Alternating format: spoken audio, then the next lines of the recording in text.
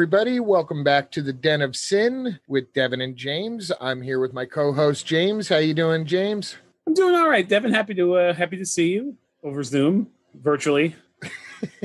we'll be in the same room again eventually. It's just you know I, I always hear when I'm listening to other podcasts, you know I hear all these people lamenting, uh, oh well, when we're in the same room again. And now that things are starting to clear up, I'm actually starting to hear some of my favorite podcasts go back to recording in the same room again and they're so happy about it. And I just keep on thinking, oh, if if only geography weren't keeping us apart. This was never a pandemic decision.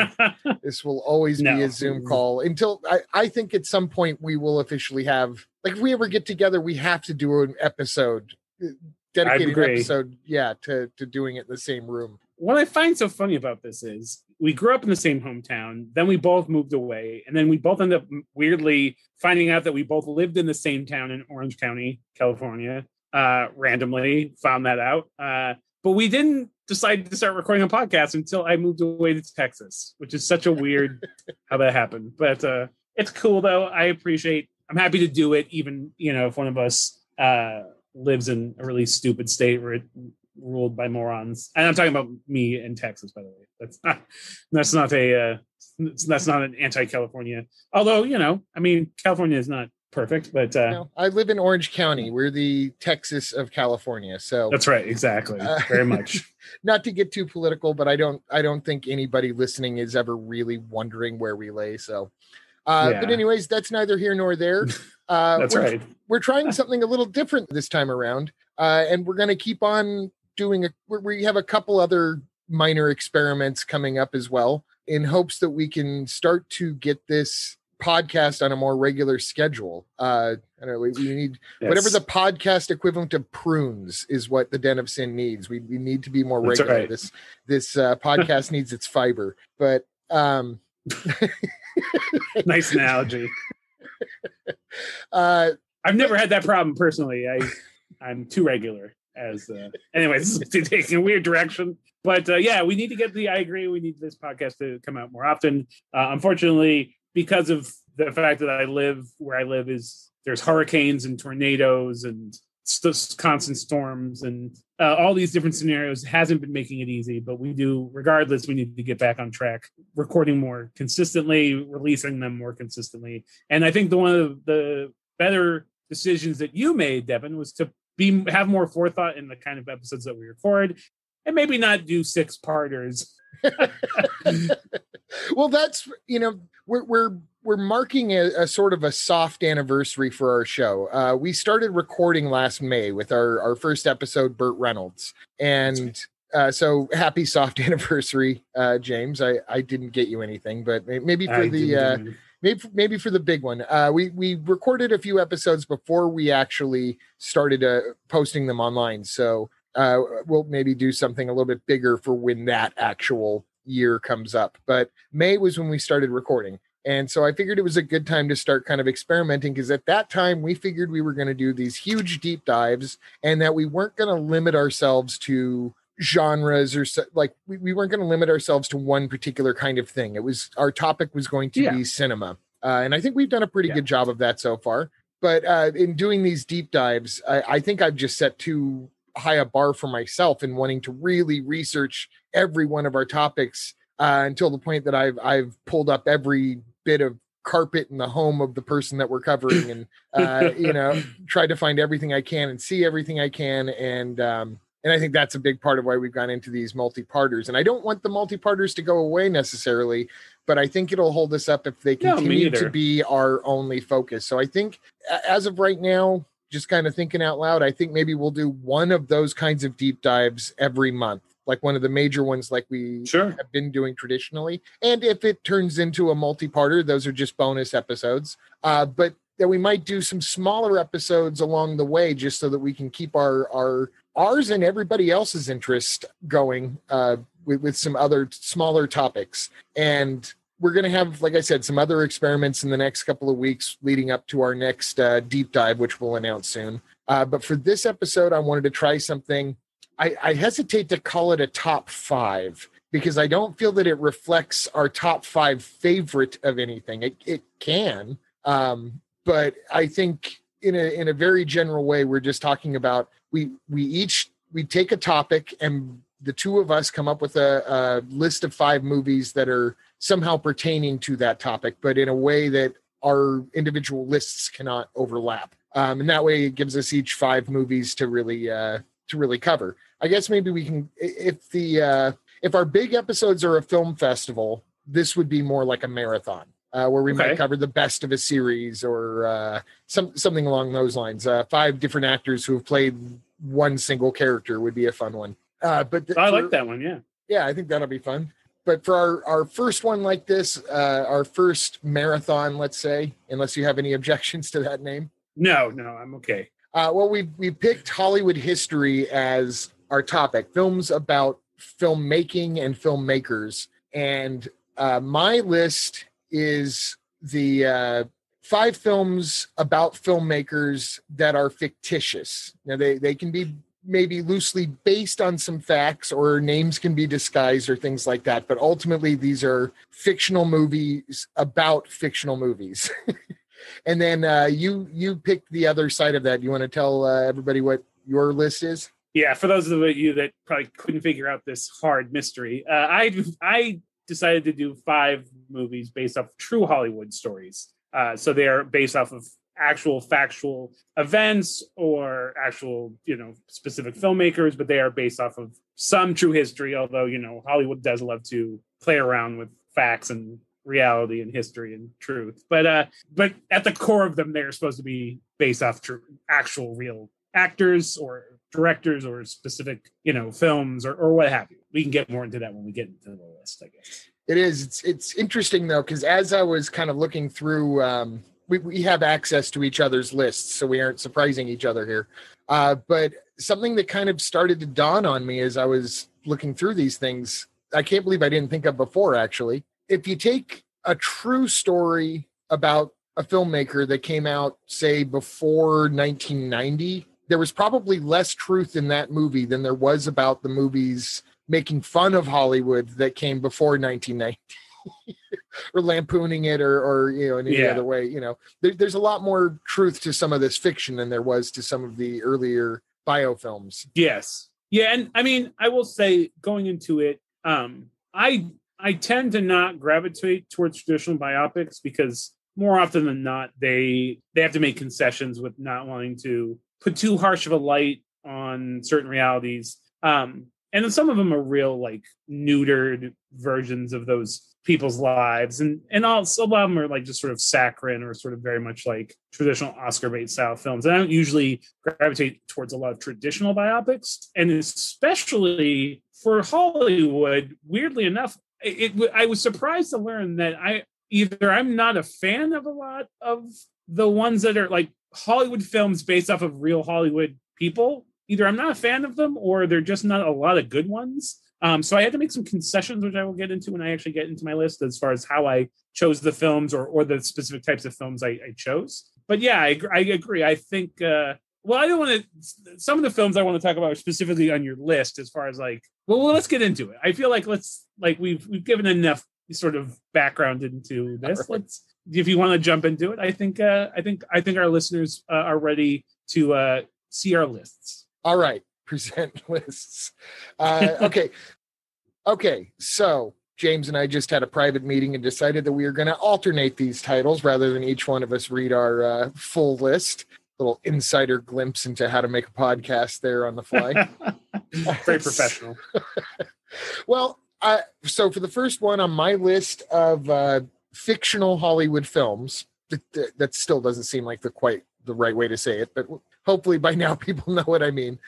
Uh, not based off of a true or well even that's not accurate because some of them are sort of but anyways fictionalized stories of hollywood Yes, yes. I wanted to pick something of the classic era um because there's just so many good movies about making movies in the classic Hollywood era that people already were loving this kind of story. I mean, if you go back there's there's all sorts of like uh there's musicals from the depression era, there's things like Sullivan's Travels, you can get real dark like Sunset Boulevard which might potentially be my favorite but didn't make this list, partly because I think it's a lot of people's favorites. But there's there's a lot of ground there, and I chose to do the Bad and the Beautiful, which was a uh, a 1952 film directed by Vincent Minnelli, who himself directed Cabin in the Sky, Meet Me in St. Louis, uh, An American in Paris. I mean, if you don't know Vincent Minnelli, then you probably are a person who doesn't care about much about classic cinema to begin with. On the gossip end, he's probably most known for being the father of Liza Minnelli, who whose mother is Judy Garland but uh, he he was one of the great purveyors of melodrama. I mean, I, I think maybe bested only by Douglas Sirk, and and even then only on a personal level. I I prefer Douglas Sirk movies because those are the real uh, what they used to call women's weepies uh, where the, yeah. the melodrama is just dripping from the furniture. And Minnelli had that same sort of visual flair too, and and uh, but but did a lot more uh, musicals and and comedies and things to go along that route. And Bad and the Beautiful was his take on the industry that made him. Uh, it stars Kirk Douglas as kind of the linchpin character. He's a producer. Uh, of course, all the pretty much everybody in Hollywood when this movie came out, it was a big deal. Everyone was trying to figure out who Kirk Douglas was subversively playing in this movie. It's probably David O. Selznick, but uh, there's reasons why people think it's Orson Welles because Orson Welles' longtime partner John Houseman produced this movie, and the truth is probably that he's a combination of things. But uh, there were a lot of producers at the time who were probably claiming that's me. Uh, even though uh, looking at it, uh, he's maybe not a character you want to admit that you're like. Yeah. And uh, the structure of it was interesting because it's not just the story of one film getting made per se. Uh, it's actually uh, these three other characters. One is a um, a writer becoming a director. The other is a young actress whose father was a big deal before her and is now gone, and she's kind of living in his shadow. And uh, the third one is a uh, novelist turned screenwriter who's been resisting making the switch because there was a lot of snobbery back then about acclaimed authors who went into the gutter of Hollywood. And uh, so each each of these three people are telling their stories involving how they met and worked with this Kirk Douglas character and ultimately how they got screwed over by the Kirk Douglas character. And uh, by the end, you know, the Kirk Douglas character, he's not appearing in quote unquote current time uh, because none of them will speak to him but he's trying to get them all wrangled together to work on one last movie together and for which they would of course have to like sell out their own feelings of angst and animosity that that are well deserved against his character uh, but of course in the end they refuse to take the call together uh, but then they go out into the other room like they're going to leave and they pick up the phone so they can listen in on the call because they're not out yet. Uh, each one of these characters was kind of based on somebody, and, and of course, they're all archetypes. The the woman is is based is supposed to be based off of um, one of the Barrymores, for example. And so, for people who are classic film lovers, on top of it being a classic film itself,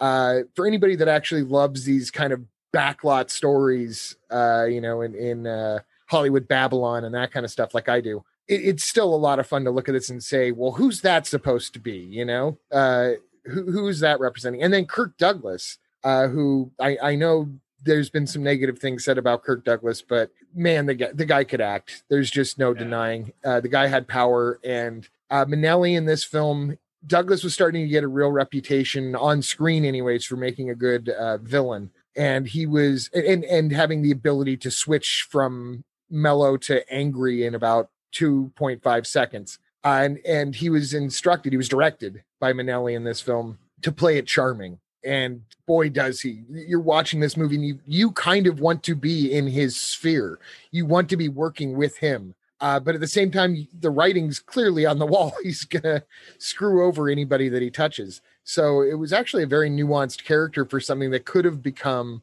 very cartoonish. Yeah. So that that was my pick for a classic. Uh, it was also followed up, just to mention briefly. Uh, they did do another film together. Uh, and Kirk Douglas and the writer um, got together again for a script called uh, Two Weeks in Another Town, in which Kirk Douglas this time plays an actor. And this was a little bit more of a uh, more Minnelli style visually. It wasn't a black and white. It was it was big and widescreen in color, uh, and and people didn't like it as much. But what's interesting is um, the actor in Two Weeks in Another Town is watching scenes from his previous movie, and his previous movie was scenes from The Bad and the Beautiful, uh, which I Yeah, that's like. crazy. And and, Yeah. and it's a, and it's a fun movie. They didn't like it back then, but like uh, Jean Luc Godard has called it one of his most influential movies. So you know it, it's really to different tastes, and deservedly so. That's awesome. Yeah, I I, uh, I am a fan of. Uh, it's hard because you know not to get too heavy into the subject, but there's yeah some things have been lobbied against uh, Kirk Douglas that aren't so great.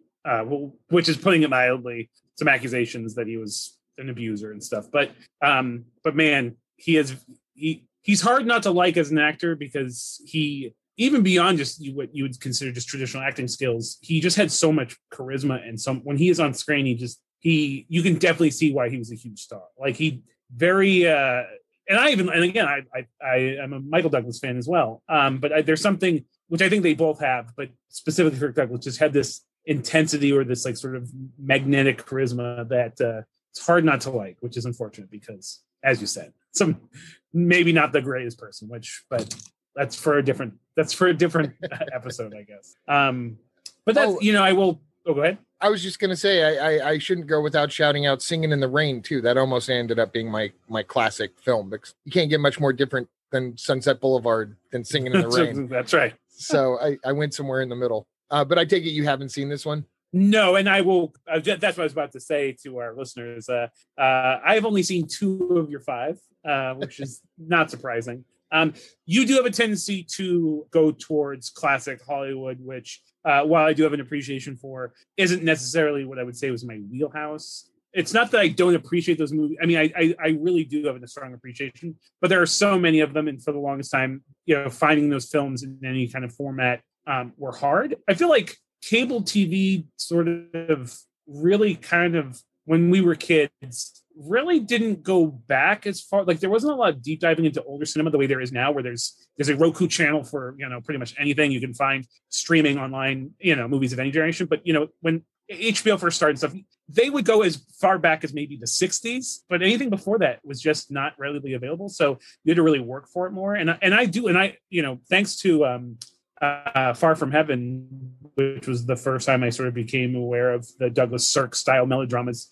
That did make me go back and sort of look at more of the sort of traditional melodramas, which I do have appreciation for. But that's only because I saw, you know, uh, Far From Heaven, which was in basically a homage to Douglas Sirk films. But um, yes, brilliant but movie. That's too. what, yeah, Todd fantastic Haynes. movie. Yeah. yeah, Todd Haynes. When I think that Todd Haynes is best. Um, uh, and even though I am a Carpenter's fan, uh, you know, I I haven't watched Superstar in probably 20 years, but it's not. I don't know. It's is it really? A, I mean, it's kind of a. It's a legitimate movie. I don't know. It's got Barb. It stars It- Barbie doll. So It's definitely underground. Yeah, but he's he. But yeah, Todd Haynes was a genius. But I do think Far From Heaven is his best movie. It's definitely his, his best looking movie. But yeah, that's the thing. Reason I like doing this podcast though is because uh, I always end up learning something, and I always go away with like new movies to add to my must watch list. But uh, no, I haven't seen it. Yeah, d- uh, definitely So- worth checking out if you get a chance to. Do you own it, or did you find it available for streaming online? Uh, you know, I'll be honest with you, it was something that I had stored in the back of my DVR, like one of those ones way near the bottom that you forget's there. But uh, I I have noticed that it plays a lot on Turner Classic Movies if it's not available online. Uh, it shouldn't be too hard to find. That literally was my oh, literally. I almost asked you. I'm like, because that's the only place I can imagine it being available for viewing. Thank God, for Turner Classic Movies at least. They, they- they have been the the repository for classic cinema. True. Um, and a big shout out to Criterion Channel too, because I know I've seen this on the Criterion Channel. I just don't know if it's there because they they curate the Criterion Channel so fast. Yeah, and dude, I love favorite. like we um you know we we we are annual subscribers. We do the annual thing for the uh, Criterion Channel. Uh, but man, the content comes and goes on there really quickly. Uh, or at least it feels that way. It's like because I'll I'll see a movie that I want to see. Like I remember recently, I was like, oh, De Palma's Sisters is on there, and then the next time I went to look for it, it was gone. So. Weirdly, I do multiple podcasts about cinema and film, and I have so little time these days to actually watch uh, or I don't end up using the time I have to watch as much as much movies as I'd like. So for my my first movie on my list, I went with Chaplin, which is a great movie. Uh, sort of was the movie that told the world Robert Downey Jr. was legitimately a talented actor, had was you know a legitimate valuable commodity in Hollywood. Post the film, he's struggled with you know his issues, but uh, thankfully he has turned those around. But I, you know, admittedly, my whole family is Robert Downey Jr. fans, going back to Weird Science and what you know his '80s days, because there is some weird. I mean, I don't see it, but every male member of my family has been told we that there's a resemblance to Robert Downey Jr. My older brother and, and, my twin brother get it more than I've gotten it, but I can understand those reasons. But anyway, so we've always sort of rooted for Robert Downey Jr. And I mean, again, if you, I mean, growing up back uh, Back to School is one of our favorite movies, and if you don't like Robert Downey Jr. Robert Downey Jr. in that movie, I don't have to I don't have to tell you he is he is a special kind of genius. But so Chaplin is really distinct in the movies I chose because it's honestly less even though it's the sort of Chaplin who's one of the most influential uh, directors, actors, whatever you want, creative forces in cinema history, was sort of helped really make cinema what it is. The film itself isn't really even well, obviously there's elements of like the way Hollywood works and things like that. The the film is sort of a weird, it's very much more of a character study or biopic, and it's also it deals less with maybe Hollywood history and more like with McCarthyism and just his personal battles, Chaplin's personal battles, even in his stuff with women and stuff. Um, you know, I hadn't seen it in a long time and I rewatched it recently, and you know, it's got a great cast, but I feel like it's he it really is sort of hit like you know, for the little bit that Dan Aykroyd is in it, he's good in it. Um, yeah, as Max uh, and, yeah, exactly. Very much a over the top kind of you know portrayal. Um, very much a larger than life portrayal of a probably a legitimately larger than life character. But yes, um, yes, like Anthony Hopkins, yeah. Uh, Anthony Hopkins doesn't play a real human being in it, and he's just sort of. I'm not going to say he's wasted, but he's definitely. When you think Anthony Hopkins, he's sort of you know, he just has his quiet role or whatever. But outside of maybe Kevin Kline as Douglas Fairbanks, I mean, it really is. I mean, the whole film is really based off of Downey's performance, and um, you know, I always get a little. I, am always a little trepidatious whenever I, I see an American playing a British. Uh, especially if there it's an American playing as a real historical character or, or uh, a real historical character who is, you know, um, as Charlie Chaplin was, you know, born in, in England and and yeah, I don't know. I don't know how great Robert Downey Jr.'s accent is, but his portrayal is so amazing. When he transforms into specifically like the tramp, where you see the physicality of what Downey Jr. was able to do. In fact, there's this weird moment where Chaplin's sort of lambasting against talkies and like he's like how he's like the tramp will never talk. And he does this whole thing about like why like I I, I don't I forget the actual actual uh Russian ballet dancer that he's doing an impression of, but he's doing an impression of basically kind of, you know, equating like the mystique of the fact that ballet dancers don't talk, but it's all physical performance. But my point being uh, is that Robert Downey Jr. does this impression of this Russian ballet dancer, and it's amazing. Like he has all this like like it's just out of nowhere. He has like he just does this, and he's doing it in the film is sort of this kind of like comedic, sort of sarcastic, you know, kind of impression of a ballet dancer. But it's still amazing. Like he has this weird elegance and grace and like he for a second you're like does robert downey jr is he a ballet dancer like right and it's just the physics yeah it's incredible um well, it's brilliant but it's like i don't know the first thing about ballet but he's good enough at it that i'm willing to buy that that's ballet like and that's the point of the performance is exactly you, you don't know, have to know if this is ballet to know that it, he's being elegant exactly just he how he physically embodies the character and he really it's did. it's so yeah, it's amazing, and he de- definitely deserved the,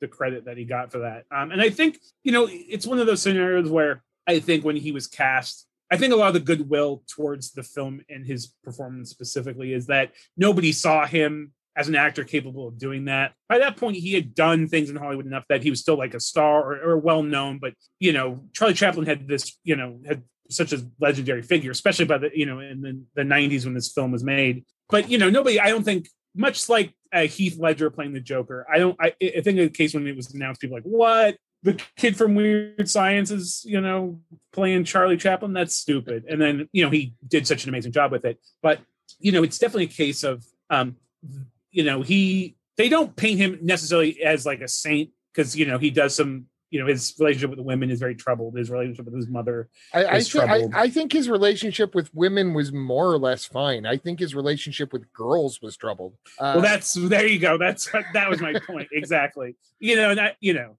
they sort of excuse it a little bit in the film, which as, is like I said, as a lot of people did even in the '90s. That sort yeah. of he I'm just going to put it out there. Charles Chaplin, Chaplin, amazing mind, brilliant person, humanitarian, sexual groomer. Um, yeah, for real, one hundred percent.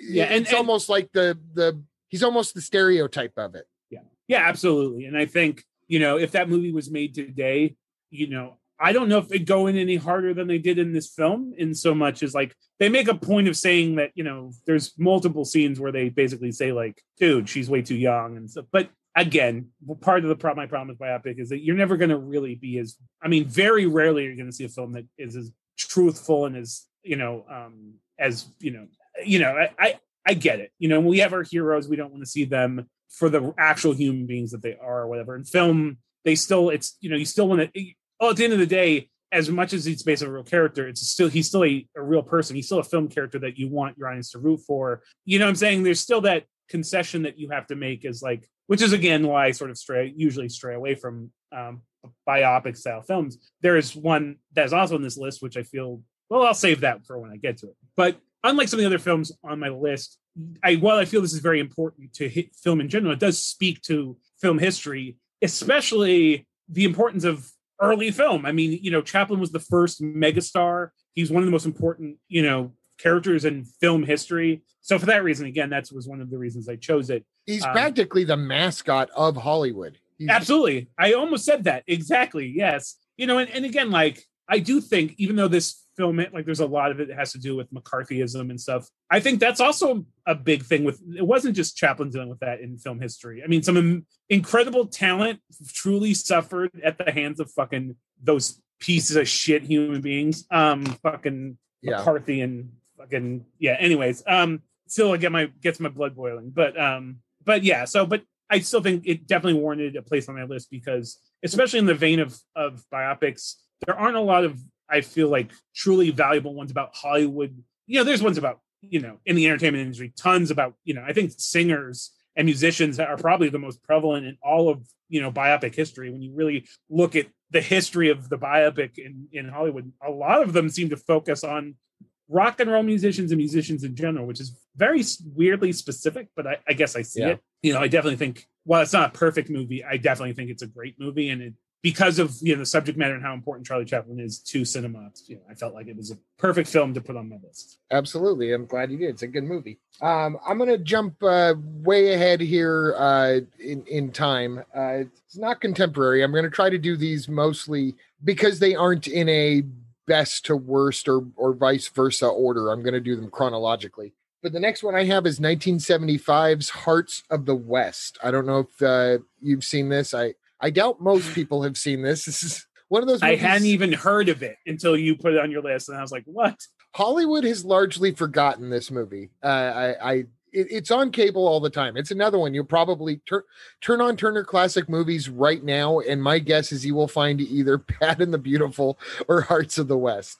Good to know. And it's it's uh it's another one that kind of takes place near abouts the same era as Chaplin. I think it's a, it's a few years after the little tramp has been established as a character, but it's uh, really kind of the early days of, of westerns. And it's directed by Howard Zieff. Zeff. I'm not sure how to pronounce it. Uh, Howard Z I E F F. Uh, I, I primarily mention well mention him because he deserves the credit, but I also mention him because he directed the Dream Team, uh, which we spoke about uh, a couple right. weeks ago. Uh, which I still I have my Blu-ray for you sitting by the door in an envelope. I just haven't made it out to UPS yet. No worries.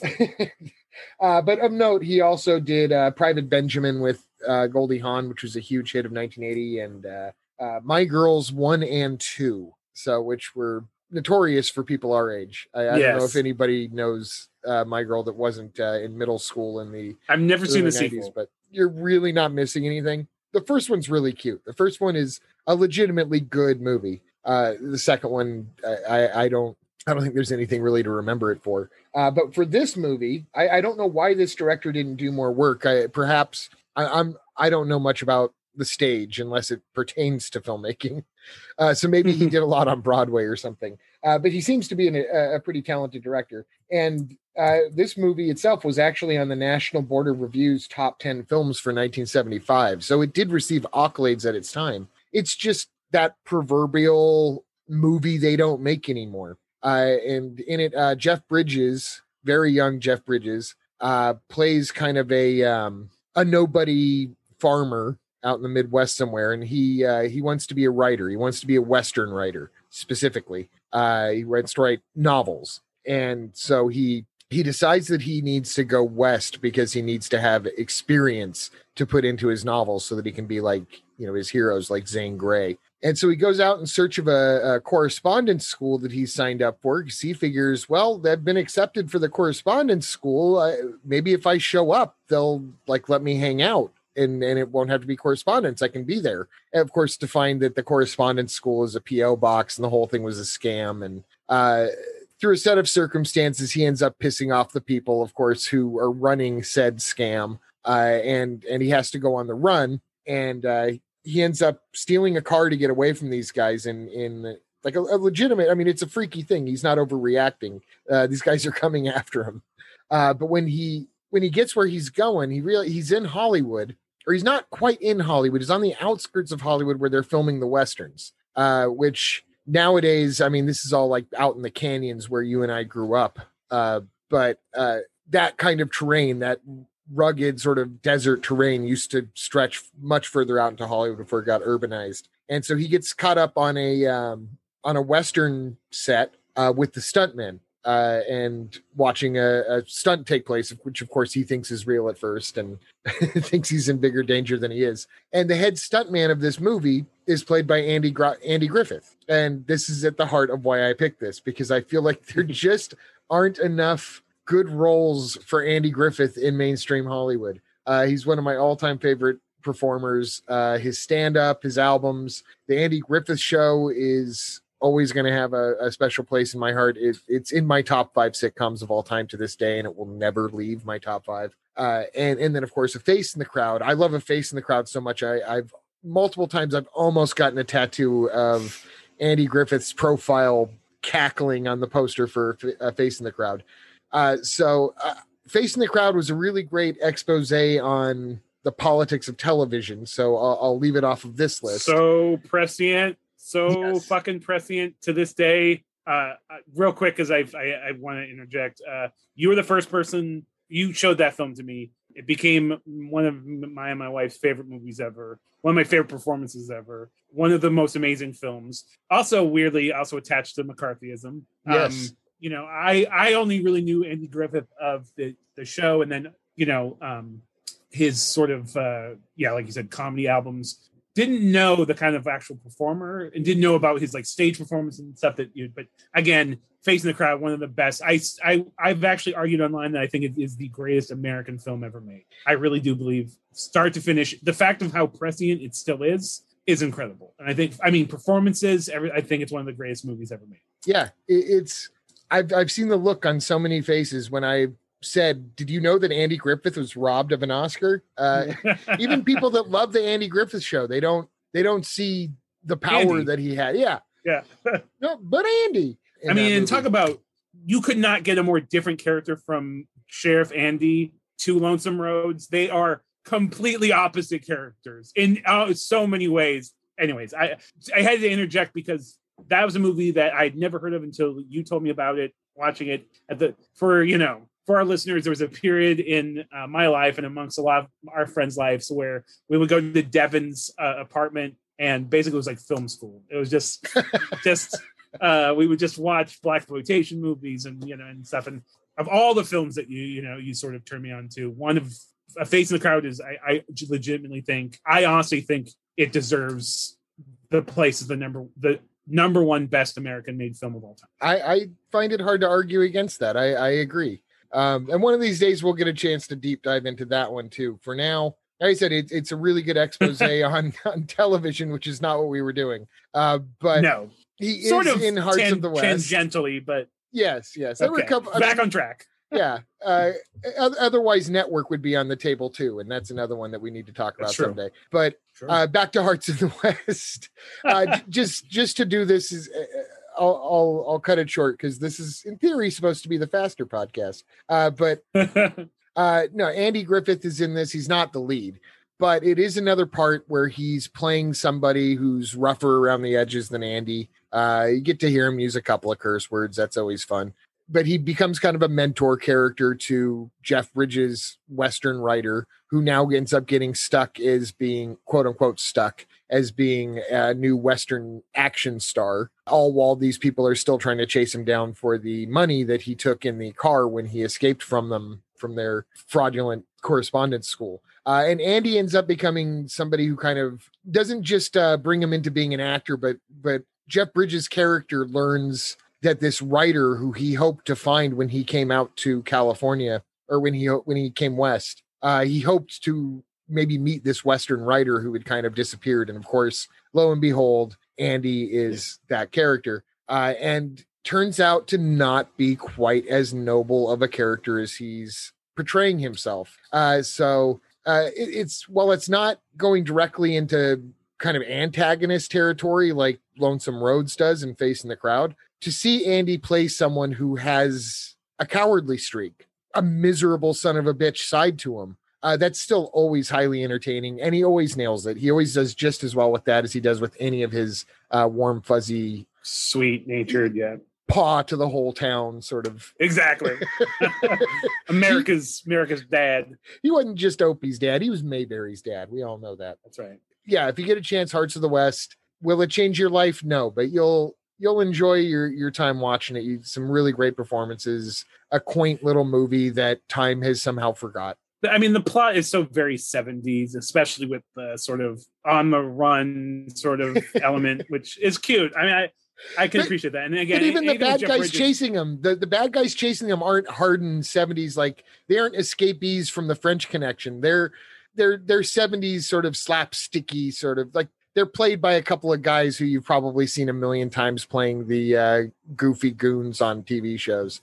Uh, okay. they're, they're, played for laughs just as much, but uh, uh very a lot of heart in, in the title like and that. in the story. Yes, it, it's a a sweet little movie. Well, from one heart uh, of to another heart of.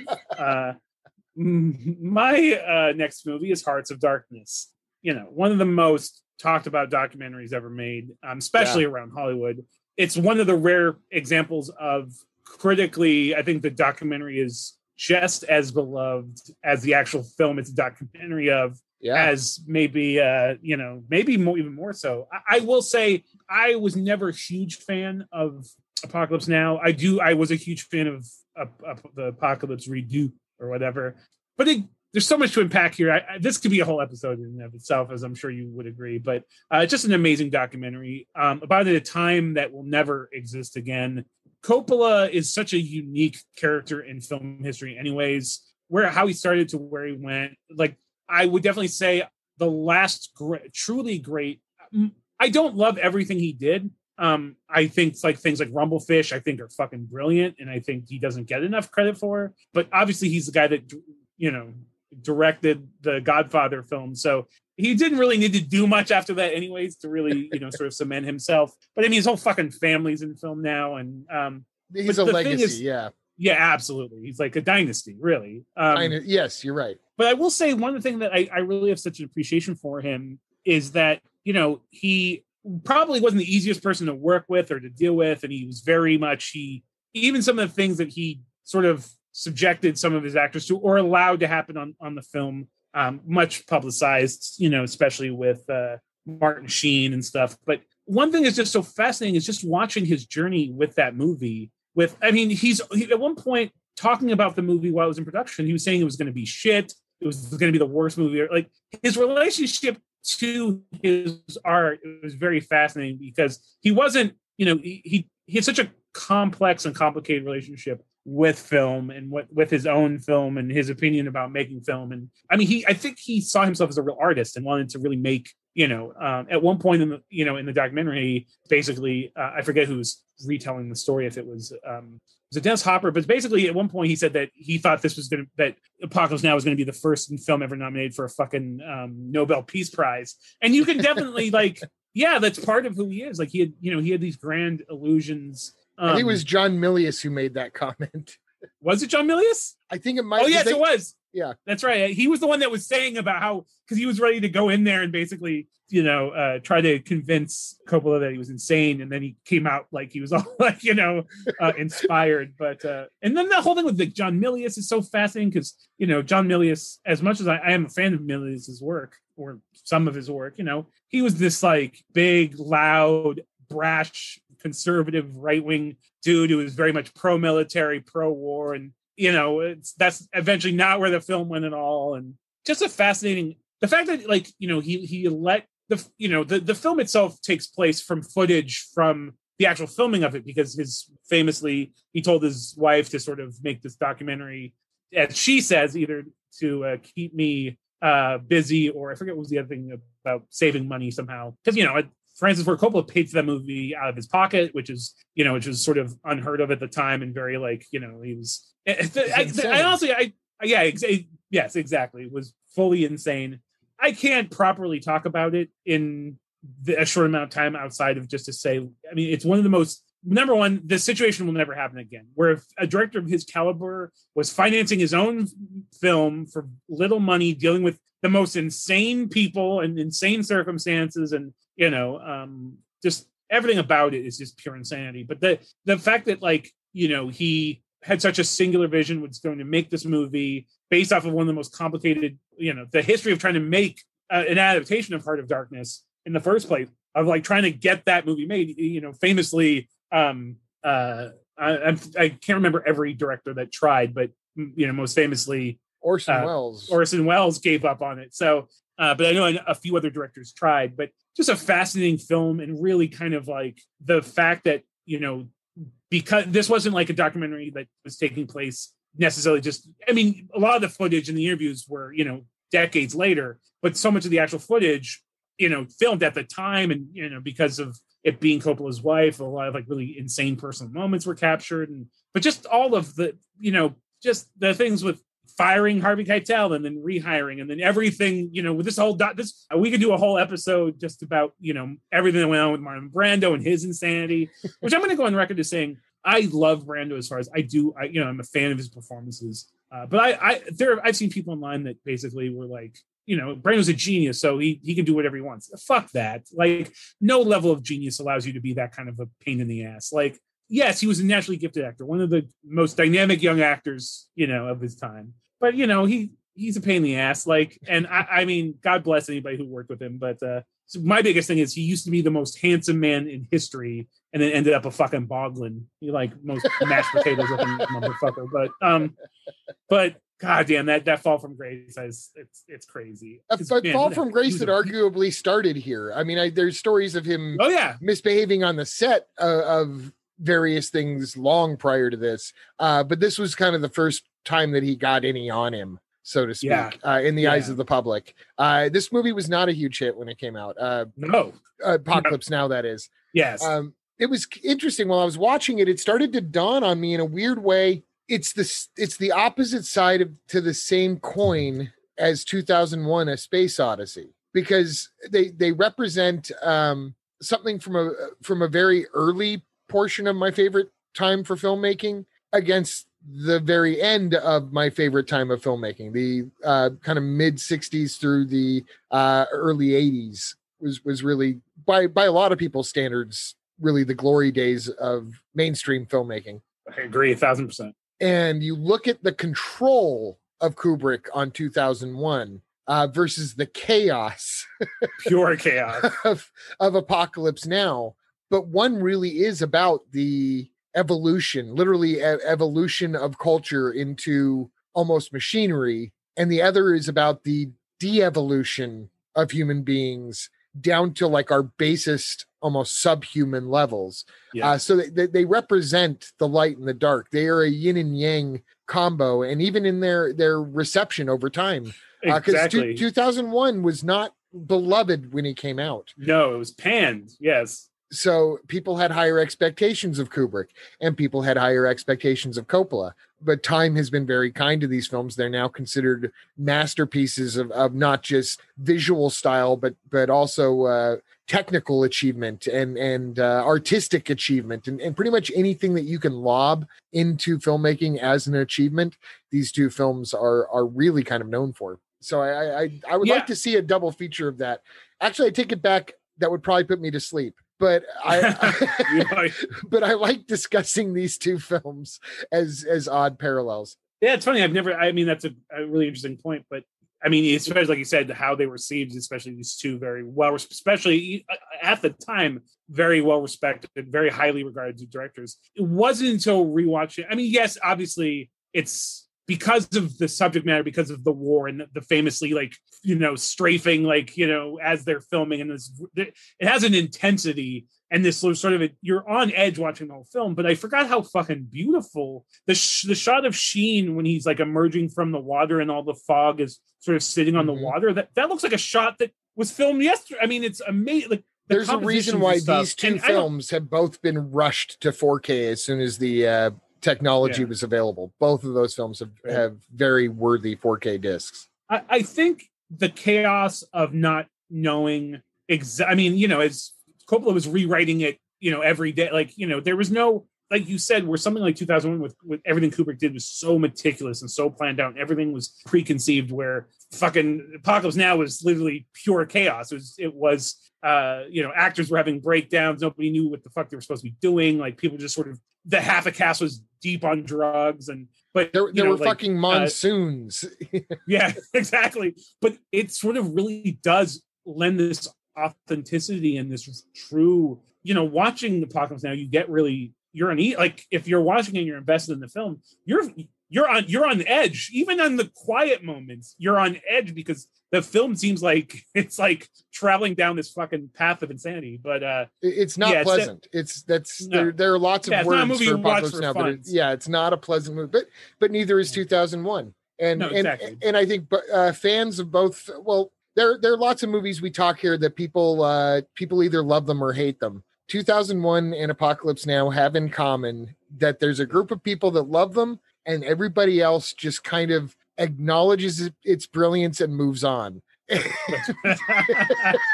there's just there's not really a set of detractors from these anymore. Uh, everyone just kind of says, "Yeah, it's great. It's just not my thing." But Yeah. but you you're hard pressed to find anybody to say, "I absolutely hate Apocalypse Now." I will say though, you know, I I, I watching the the documentary, it's very telling that as re- connecting with real human history and real human truth and seeing like there's so many things in the documentary where you're not you're just seeing a glimpse of either an actor sort of pacing you know when they're filming or you just you know see the physical stress on people's faces whatever. And that's to me just as captivating as the actual film it- as you know the film it's talking about itself there's the human drama of of the film and stuff to me is just as interesting as the fictionalized version the fictional story that the, the film is telling. But that's so rare that you get you know like in hearts of darkness where you get a documentary about hollywood about things we know about that is you get where you get that glimpse or that view of things happening at the time. And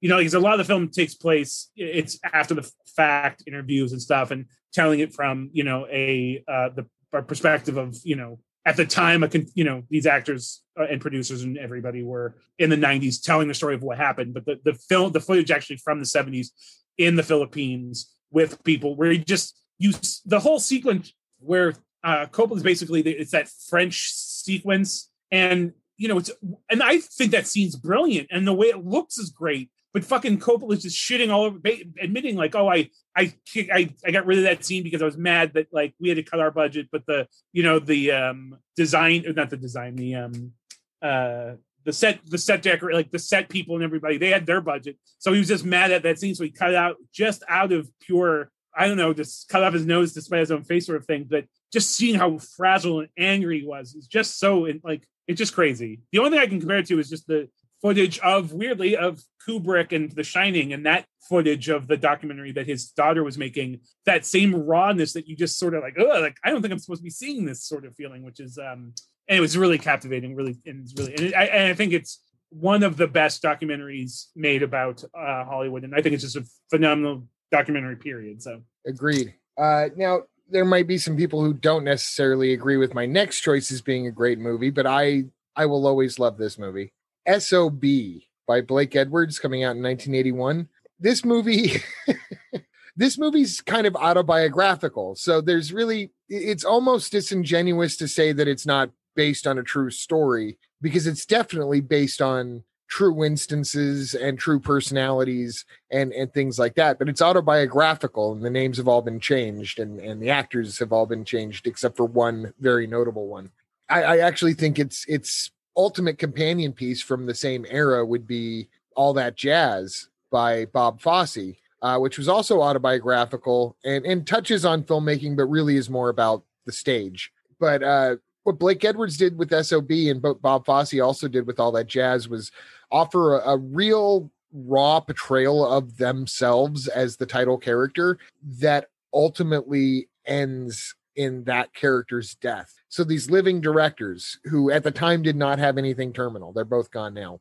But uh, these directors got a chance to direct their own death sequences, which has got to be one of the most cathartic things I can think of. In the case of SOB, we, we tend to think of it as son of a bitch because that's the the most accepted uh, use of, of those initials SOB. But in this context, it actually stands for standard operational bullshit. And uh, it's Blake Edwards' own reaction to having produced and directed, uh, and in many cases written, some of the biggest Hollywood blockbusters of all time. Uh, on this list are, are the Pink Panther movies, The Days of Wine and Roses, Breakfast at Tiffany's, and uh, then he makes one movie, Darling Lili, that flops, starring his wife Julie Andrews. Movie does not do well, and suddenly Blake Edwards found himself being treated like garbage in the town that he had kind of bankrolled for the last 10 years. And so he went into a very rebellious phase and he made this movie out of it, in which he cast his wife again, Julie Andrews, in a part uh, where she plays an actress who is known for her more Disney sort of persona and in this movie she's not mary poppins she's she's peter pan and the great richard mulligan plays the uh, felix the uh, the surrogate for blake edwards in this who is the director going through the depression. In fact he's suicidal and i know there's nothing funny about suicide but every now and again in those early 80s comedies burt reynolds did one too. Some of the funniest scenes are the scenes where he's failing at suicide um, but he he's able to pull himself out of this funk by by coming up with the idea that he's going to recut his flop, but he's going to refilm it too, and he's going to refilm a a saccharine sort of uh, do goody sort of song and dance sequence with his wife and now it's going to be shot with uh, the climax of her ripping her top off so this is the movie about Julie Andrews doing a nude scene in which Julie Andrews does actually do a nude scene. And it's I don't know if you've ever seen it. That, that was kind of what it was famous for at the time, but I think that that's actually a minor part of the story itself. It's almost excessively funny. It's so, especially if you know some of the people that these people are pretending to be. It's got this incredible ensemble cast on top of Julie Andrews and Richard Mulligan, who I've already mentioned, uh, William Holden's final screen performance, uh, Robert Webber, Robert Preston, who's my favorite in the movie, Larry Hagman from Dallas and I Dream of Jeannie, Robert Loggia, uh, Robert Vaughn, Shelley Winters, Rosanna Arquette, um, even Paul Stewart from Citizen Kane finds his way into this movie. It, pretty much everybody was in this movie at the time, sending sending up Hollywood, and it has some of the funniest dialogue. Have you ever seen SOB, James? No, it's it, it was one of the three I hadn't seen that I'd actually heard of. It's funny, I, I still can only the second I see Richard Mulligan's face, all I can think about is empty nest. That's literally yes. the first thing I can ever I ever associate with. But you know, Blake Edwards is amazing. So it's the one on this list that I was like, oh yeah, I, I should watch that even before you start talking about it because I like I said I knew about it, but um I didn't know she uh I didn't know his I didn't know she actually showed her boobs in it. That's uh yes. I didn't know that. Yeah. That's it's a little bit it's a little bit um controversial as a lot of Blake Edwards is nowadays. Yeah. Um, I mentioned Blake Edwards did Breakfast at Tiffany's, uh, which means that he was capable of doing a lot of beautiful things and then taking a giant racially insensitive shit on top of the entire proceedings. and sob has also uh its its problematic moments there's a brown pa- face performance by larry storch at the very end uh not nearly I don't- I Nothing could be as on the same level. Nothing. Noth- could be nothing's on that's- and, and and to be fair edwards before he passed away edwards was emphatic that he would never do breakfast at tiffany's that way again and that he made a huge mistake uh this was it's it's almost ironic that he kind of continued to make similar mistakes in lighter fashions uh but it was never seen to be coming from like like it was disturbing no matter what but it didn't seem to be coming from a disturbing place. He wasn't trying to be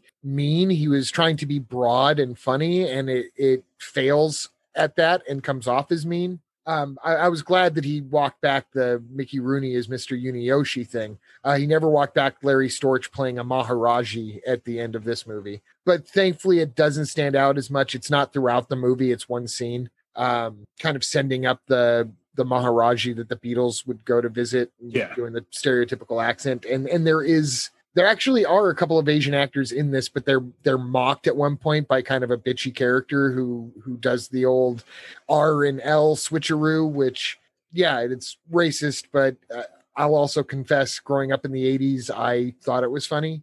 So I- I apologize on the behalf of white culture for egging Yes. that on for so long uh, because we like things that are silly and that comes off as sounding silly without being noticed to, to somebody who's at least as small as I was at the time as being Exactly. horribly insensitive and, and Yeah. just not getting it.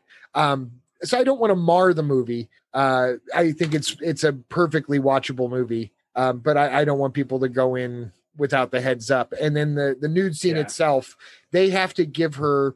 Robert Preston's my favorite character in the whole movie. He's the doctor, and he's got everybody's drugs, uh, including his own. So you know he, he'll do things like uh, you know he, he'll inject somebody with with something that, that's that's going through depression, and then he'll turn around and say, "Take note if he begins to levitate," and walk out of the room. Uh, so he's he's always there with the zingers and the one liners, and they have to bring him in because Julie Andrews' character is getting so nervous about her topless shot, and so he he he gives her something that makes her a little bit looser, uh, which nowadays obviously we would see that as oh you don't want to do the scene? Of course you don't have to do the scene. In the context of this film it was you have to do the scene! We've sold this on the scene! Bring in the doctor! Um and to be honest julie andrews some of her funniest stuff and she knew this. She knew this going in. Some of her funny funniest stuff is leading up to the nude scene of her acting high because she knew that that was just as out of character for for her as the nude Yeah. scene was. So she played it to the nines and and that's really what saves it. That's what kind of keeps it from being a creepy thing but in real life it would be a creepy thing. So definitely a product of its time and i and part of why i picked it too uh not to get even more long-winded but i have to point out william holden's one of my favorite actors of all time and there are probably no other actors who are more closely associated with playing screenwriters uh, out of classic Hollywood. Uh, William Holden was a screenwriter in Sunset Boulevard. He was a screenwriter in Paris when it sizzles, and in this, he finally gets to play a director. Uh, so I I had to uh, put this on the list just so that there was a, there had to be a Holden somewhere, a Holden film somewhere. So I, I'd go with the one where he Gotta uh, have some Holden. Yeah. yeah, where he moved, and he's hysterically funny too. He's so self-deprecating and talking about his own abuses and and uh, drinking and drug problems as a character in the movie. So it, it's eye-openingly honest, but at the same time, it's just as dishonest as anything else coming out in the early '80s. So it it's kind of fun. But you would be fun to I watch it with. I would love to watch it with you. I'd love to save that to point, but uh, distance makes that a little hard. I guess we could do a virtual. I mean, people do that, right? The virtual watch parties. Yeah, we can do that. You know, maybe we can if we if we get our patreon set up maybe we can start doing some audio commentary exclusives I would That could be love to do that. I I would. I actually thought about that exact thing. So we gotta get that Patreon. So for our subscribers, if you are if you are interested in supporting a Patreon, let us know in our social media. Uh, let us know if that's something you're interested in. But I would love to get a Patreon started and sort of do some some fun extras that we wouldn't normally do for the actual podcast itself. But uh, it, very interesting movie. Uh, just for Mary Poppins boobs alone. It's very. Uh, I will not also not going to uh, to to uh, be dishonest and say I I googled it as soon as. soon as soon as you said I I googled it. Uh, so, but very interesting, very fascinating, interesting choice. Like I said, it was the one on this list I had, I just heard about, but I don't know how I never heard about that specific that that you actually. anyways, that's this is getting we- really weird, but but yeah, we would. We, I would love to watch it with you. We should figure that out. We should figure out a way to watch it together. Uh, so for my next movie, uh, I'm going to talk about uh, a movie I do love. Uh, it's the only one on here though that I haven't seen recently, um, so it's not as fresh in my mind. But I saw it in the theater. I, I do love it, and it's The Kid Stays in the Picture. Ah, Uh, the sort of very notorious. Uh, it's based off of the autobiography by Hollywood legend Robert Evans, uh, who I did first learn about because of Mr. Show. Uh, didn't you know? I mean, never heard Bob Evans, you know, as a, as a man in my twenties, but uh, famously an episode of Mr. Show. In fact, it's my favorite episode of all of Mr. Show. Mr. Show has a whole sketch where it's basically God recording his autobiography, and it's and it's literally just Bob Odenkirk doing a Robert Evans impression uh, with using some almost verbatim quotes from Robert Evans, which is hysterical. Uh, but yeah, that episode, by the way, is my all-time favorite Mr. Show episode because I do love that skit. And then the following skit is Monster Pajama Party, which is my all-time favorite Mr. Show skit, um, which does have a uh, a an homage to a friend of yours. Uh, yes. Doctor Retarded. I, I, it's not very on PC, but it's still I one of the hardest I've ever laughed at anything was when Doctor Retarded popped up. Um, anyways, different conversation for a different day. But uh, based off of Robert Evans' very long autobiography about his incredible career. I mean, granted, one of the most incredible careers of anybody who's ever worked in Hollywood. I actually think it's one of the best documentary. It's such a beautifully composed documentary. What they were able to do with it, because obviously a lot of the footage, you know, they they only had still photos for, and a lot of it was they they managed to make these sort of animated photo sequences that are just beautiful. And you know, I think you could only do that movie with Evans himself doing the narration. I don't think it could have worked. I don't think a documentary about nobody was able to cap. I mean, he was such a unique. The way he spoke, his voice, his like kind of bullshit. Like if the whole like the, the adage of like somebody believing their own bullshit, that adage was created for Robert Evans. He's definitely Bob Evans was so up his own ass, but in the most glorious way possible. But uh yeah, it's just I mean, you know, and weirdly enough, I didn't think about it until I was talking about uh, Hearts of Darkness, but you know, those two dudes notoriously did not get along for a long Yes. time. Robert Evans was a producer on the Godfather film. They had a very uh, contentious uh, working relationship. Apparently, though, I guess when Evans died, Coppola actually gave a very emotional and nice uh, eulogy about him, which is nice that they sort of put that to rest or whatever. But for a long time, they were definitely they were very not friends. In fact, I, I, I if I'm not mistaken, I at one point I guess the rumor was that uh, Coppola wanted to to to have Star in Apocalypse Now. He wanted uh, um, Steve McQueen solely because he knew it would piss off Robert Evans. That's that is a story I read. But what a brilliant documentary about you know a guy that was literally you know you said it earlier the greatest era in film history for me, especially for American Western cinema, is you know the 70s to the you know mid 80s, late 60s. But and that's really where I mean Robert Evans was doing his thing. Literally that time frame, he was sort of uh, involved in some of my favorite movies ever, Rosemary's Baby, which is one of my all-time favorite films.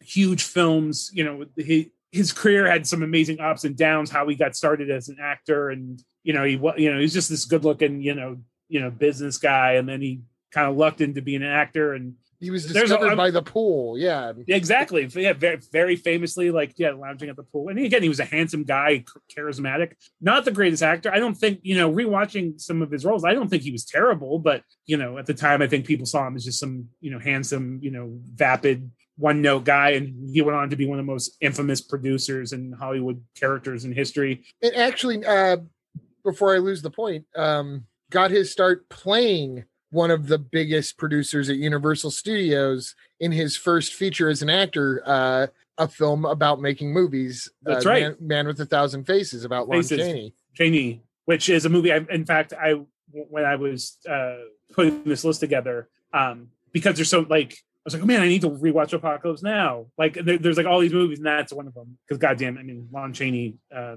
is I love Lon Chaney anyways. But um, where, where, where was I though? oh yeah, no. So, but yeah, again, I, it, this this podcast is going to be long enough. I don't need to pontificate too much about uh, the kid stays in the picture, but you know, he's such an uh, he's such an interesting human. He he was he has passed away, but uh, Bob Evans is unlike any. I mean, he's just one of a kind human beings. The way he spoke, his whole persona. You know, he's a good looking dude that was famously romanticized a lot of beautiful women. He's just such a character. He he sort of embodies everything that you think about Hollywood. Robert Evans really was sort of I mean, he embodies everything. So, but it is a brilliant documentary that sort of touches upon, you know, some of the best films ever made, whether it's Godfather, the, you know, Chinatown, Rosemary's Baby, you know, his sort of rise to fame and his, you know, fall from glory and then sort of his comeback. And like, it's just a, it's a great documentary. I feel like if you don't, if you're not, uh, somebody who's a huge Hollywood film buff, you would still enjoy it as a documentary because it's just an entertain. His life story is really entertaining. But if you are a fan of Hollywood and you've never seen it in Hollywood history, it's a fucking it's it's such a great fun film. Like I said, I, I saw it in the theaters when it was brand new. I bought the the film and released on DVD, and I, I literally used to watch. It was one of my go-to sort of like, oh, I'm not feeling well. Let me put on uh, the kids in the picture, just because, you know, it's such a fun it's, he's he's so silly. He's like a fucking caricature of a Hollywood producer, but he's you know just his he's got such a great voice for a narrator too. He was like this sort of like see, it's just I don't it, I it I love the movie and I, I you know despite his many flaws, uh, I do love Robert Evans. So same here, and and you're he's he's like every stereotype in one neat little package of a Hollywood yep. producer with the slick back hair and the cigarette and the you know uh the sunglasses and the big sunglasses and, and, he calls people baby and yeah exactly you know kind of guy you think was probably born under a palm tree and uh says things like then paramount gave the world the godfather as a christmas present you know that's right. exactly. And and what's great too is, is uh, that narration in the movie I, I don't know if you read this part or not but uh, the narration is actually the audiobook from the the the book. Well that's what so i did it's funny i didn't know that but i actually was listening to the audiobook on youtube and i was like this is exactly the movie. I was like, did they just take it from the book? The book, the online, the, the book is six hours long. So obviously they didn't, you know, use the whole thing. But no, uh, it's it's been edited and and uh the the audio book is different from the book. I, I don't think by varying I, I don't think they vary wildly, but you get a guy like Robert Evans there to tell the story. Exactly. he's he's gonna tell the story with some razzmatazz when he's gone in to do the audiobook that's not on the page that he's supposed to be reading. So apparently the audiobook is better than the actual book. I have both. I couldn't tell you what's different because I read the book God ages ages and ages ago, around when I discovered the movie. I saw the movie first. Um, and I also I saw it in the theater going in knowing who Robert Evans was in terms of seeing his name in the production credits yeah. of you know Chinatown, everything, and, exactly. yeah, the Getaway, and uh, uh, even Popeye. He, he produced Popeye. The audiobook is a lot of fun, and these filmmakers just kind of cut up the audio. Now it was done with Evans' participation because they have some they, they shot some new footage of him in his house and there's a whole story about how he got to keep his house to begin with. House that exactly sort of bookends the film exactly. Yeah so they went in and got new stuff and and evans is in on this. This wasn't unauthorized this wasn't uh this wasn't a creative cheat it was actually really brilliant uh, that they took the audio book and rather than have him go back at his older age and narrate what is essentially going to come out as a ripoff of his own book uh, they named yep. the the mo- the documentary after the book, and yep. they used the audiobook as the as the narration, and it's hysterical. He's such a Hollywood character. Yeah, everyone should see that at, at least once if you're interested in Hollywood history. That's right. Agreed. So for for my next film, um, I actually am gonna uh, go a little further ahead into the 80s. I don't know if I would have. Uh, I'm just gonna be as white as possible here. I I don't know that I would have necessarily thought of this film immediately had I not just seen Do the Right Thing uh, the last time that we did a podcast. But it almost instantly sprang to my mind uh, when when we decided to do this, and that's Hollywood Shuffle. Uh, it used to be talked about uh, on its face, it used to be talked about because of, of the themes that the story represents, but also behind the scenes, people talked about its director, Robert Townsend, and how he essentially uh, was able to finance this movie by maxing out his credit cards. Yeah. And uh, I don't know if he was the first to do this, but he was maybe the first to use it as publicity for for getting the film known. Uh, he'd already been an actor for a couple of years, but it, it is the Hollywood story from the black perspective. And uh, have you seen Hollywood Shuffle before? Yeah, because I like it, but I don't love it, sort of scenario. But I also think like I haven't seen them in 20 plus years and probably would like to revisit it. Um, but I, I it's sort of like at the time of Hollywood Shuffle, there was like this sort of you know like the emergence of, or this sort of golden age of American independent films, and these people sort of like the fucking Quentin Tarantino's and the fucking Kevin Smiths and the there was just this whole thing going on at the time. So this vibe or whatever of like independent film, and I thought it was fine. I don't again I haven't seen it probably since the early 2000s, maybe maybe the late 90s or whatever. But um, but yeah, why don't you talk about it instead of listening to me well, first off, Jesus Christ. Uh, rest in peace, Paul Mooney, who's credited in this film as Mr. Paul Mooney. If you watch sitcoms in the 70s and 80s, you watched Paul, Paul Mooney's work. And of course, he was a big part of uh, Chappelle's show. Also, speaking of, of television from, from an earlier era, this was also uh, co written with Keenen Ivory Wayans just before In Living Color. Everything involving In Living Color was so big just a couple years later uh, and everything involving the the Wayans brothers. Yeah, you had keenen was in the uh, was in this and wrote it. Damon is in it at multiple points. Uh, Kim is in it at multiple points. Um, it it also features uh, Rusty Cundiff, who would later go on to do Fear of a Black Hat, which I think yep. was a technically better film than this, but it's more uh, lampooning the music industry than the, film industry. Yeah. Uh, kind of is the uh, the hip hop equivalent of this is Spinal Tap. Uh, and then he also, uh, Rusty Cundiff was the co-creator of the Tales from the Hood series, which is still, I won't say going strong, but it's still going. It's um, still going. Yeah.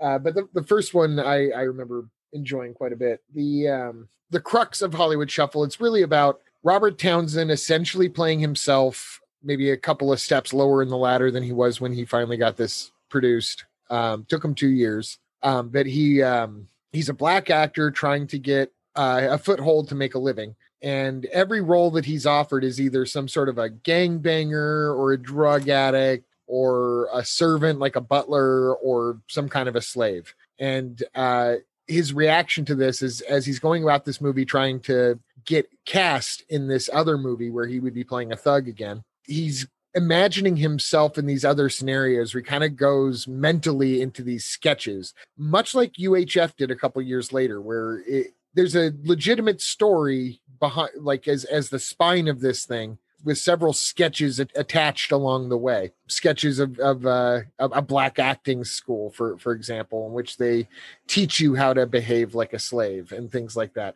And it's yeah. really biting. And i i read reviews uh, that came out uh, at the time in 1987 when this film came out and uh, even then they were saying, you know, some of the things that he's calling out as stereotypes are a little stale now, and maybe we've already moved beyond that. But when you consider that he was writing this for several years, uh, not to mention, I, I think it came back around to that. Um, I mean, black characters being used as, as servants just a couple years later, uh, Driving Miss Daisy wins Best Picture. Uh, you know, so these things do keep on coming around and, and thank god we're finally getting out of that mold. Uh, it, it's taken a lot of work. There's been a lot of movies that have that have bucked that just not enough of them to have turned it into the culture rather than, than the counterculture. And so i think that hollywood shuffle does a good job of representing that part of hollywood culture. Um, and it's uh, the, the struggle that anybody faces trying to make it in a creative business. Uh, but the the added impact of of always having to at least in his case in this film belittle yourself and your entire culture to play a role in order to get paid and and do the thing that you supposedly love to do. To do yeah. What impressed me with hollywood shuffle is that there's enough of it that is still relevant here over 30 years later that that it's worth seeing again. And and one of the things that's interesting about hollywood shuffle there, there are lots of movies where someone's fighting to get a role in something and them getting the role in it would be the happy ending. Uh, whereas Hollywood Shuffle, he gets the part. He keeps on auditioning for this role as uh, some sort of like a pimp and when he gets the role he's still faced with the question of did he win like is it the right thing to take the role you know he, he's going to be able to pay some bills but his grandma's going to be ashamed of him um and, and that's something that i Yeah. don't think that you ever see like every other story getting the role is the end of the story for Yeah. this getting the role was like the beginning of act three and now accepting the role now that it's been won becomes the issue and, and and of course it ends quite famously with him with robert townsend as black superman uh which is uh worthy of pointing out that um now here we are decades and decades later finally just beginning to even discuss the concept of the idea that there could be a black superman uh cinematically which just shows the, that that's not a marker for how far we've come that that is uh it, it took a little long to get here Yeah, from there um absolutely. Yes, absolutely. and I, and I think it's and it's it's something that's going to be relevant. Probably, you know, unfortunately, it's a journey that's nowhere near its conclusion. I don't think like it's still yeah we still have a lot of progression to be made in that subject and, and that's the thing is when you're talking about films about hollywood experience and dealing with hollywood like there's a lot of things that you know lots of films have touched upon whether you know the uh you know the inherent uh greediness of hollywood and you know spitting up and you know chewing up and spitting out talent. But that specific story that hollywood shuffle does is it's rare. We don't get to see that perspective often. And and the ramifications of as you said sort of you know you want to be an actor but the roles that you're getting aren't responsible to the you know it yeah it's just a fascinating and very unique perspective and story that as we said there's probably way more that could be you know even you know unearthed in that topic and really you know delved into but you know it's just hollywood shuffle sort of stands as a unique film about that experience and it's sort of it's it's sort of alone on that flagpole it's sort of flying it you know all by itself. So pretty fascinating. Um and i i do now feel like i'm gonna have to rewatch it just because you know um I'm pretty even sure- as you were taught mhm. i was just going to say i'm pretty sure i saw it on tubi everything is on Tubi. Everything is on Tubi. I swear to God, like any weird, obscure 80s horror movie that I'm looking for always ends up being on Tubi. God bless Tubi. Um, but yeah, that's that's awesome. I feel like that was a really interesting choice because again, like you said, maybe not the first one that would come to most people's minds because I mean, there's a lot that you can say about that specifically, but um, such a unique perspective. Um, and again, a comedy, but based in a lot of like, you know, very hard, you know, uncomfortable truths. So uh, I think it's a good choice. Again, like I said, we we could really get into that topic, I think, more on, on a future episode, but uh, we'll we'll save it for later. Very quickly on the next one, um, probably my the term Schaden, Schadenfreude sort of. I don't think I have been as ups. My feelings about this film are very strong. The next one I'm going to talk about is Overnight. Uh, uh, documentary about the filmmaker Troy Duffy, the director of the, for some reason, cult classic uh, film Boondock Saints, um, and basically about how he shot himself in the foot and in this unprecedented deal made in Hollywood, basically dream scenario, and how it all sort of fucking fell apart because of who he was as a person. Let me uh, start by saying I had an ex girlfriend who I hadn't seen Boondock, Boondock Saints yet at this point. It was still had had come out on home video pretty recently, and I had an ex girlfriend at the time who was like, "Oh, you're gonna love this movie. It's better than Reservoir Dogs." Which is one weird because I don't ever remember telling her I was a huge Reservoir Dogs fan in the first place. uh, wasn't you know I I don't ever remember being that guy, but uh, you know, and I like Reservoir and I like Reservoir Dog. I I like Reservoir Dogs enough at the time. I mean, it was the first fucking movie where they talked about uh, you know the thing from um, the Fantastic Four. Uh, any sort of movie referencing comic book culture always sort of got on my attention. But I remember in our little group of friends, you know, we, we were Tarantino fans, and I liked Reservoir Dogs. But again, it wasn't. I remember at this point, I don't ever remember. But she, but she also made this bold claim, which I will also say, no, it wasn't. But I knew. I ended up watching it, and I knew 20 minutes into watching this movie, into watching Boondock Saints, that whoever was responsible for this fucking movie, I I hate this person. I knew that 20 minutes into Boondock Saints. I was like, this is the most hateable fucking. Anyways, uh, so obviously when the film Overnight came out, and I heard what it was about, I I watched. I soon as I could get my dirty little hands on it, I watched this movie, and it is one of the most fascinating. Uh, it's like 120 minutes, a pretty short little documentary, filmed as basically it was two friends of the of Troy Duffy, two guys that basically worked for him. They were like his friends, but they were also like sort of managing his shitty ass band. And also, he was basically telling them like uh, he was basically putting all of his his quote unquote friends to work at that point for him, and like basically promising them the moon and saying we're all going to be rich and famous. Meanwhile, that's you know not at all what the reality of the situation was. But so there it started off as basically a documentary sort of celebrating this amazing thing that happened where he was sort of discovered by um fucking harvey weinstein which we'll touch upon that more in a second. But yeah. uh harvey weinstein sort of discovered him and basically ended up buying him the bar he worked at bought him a bar promised him a record deal and a fucking you know a film career. And the film sort of starts off in this sort of like celebrating this moment uh, and then you know unintendedly sort of then becomes this sort of scathing documentary about what really ended up happening you know in real time throughout the movie's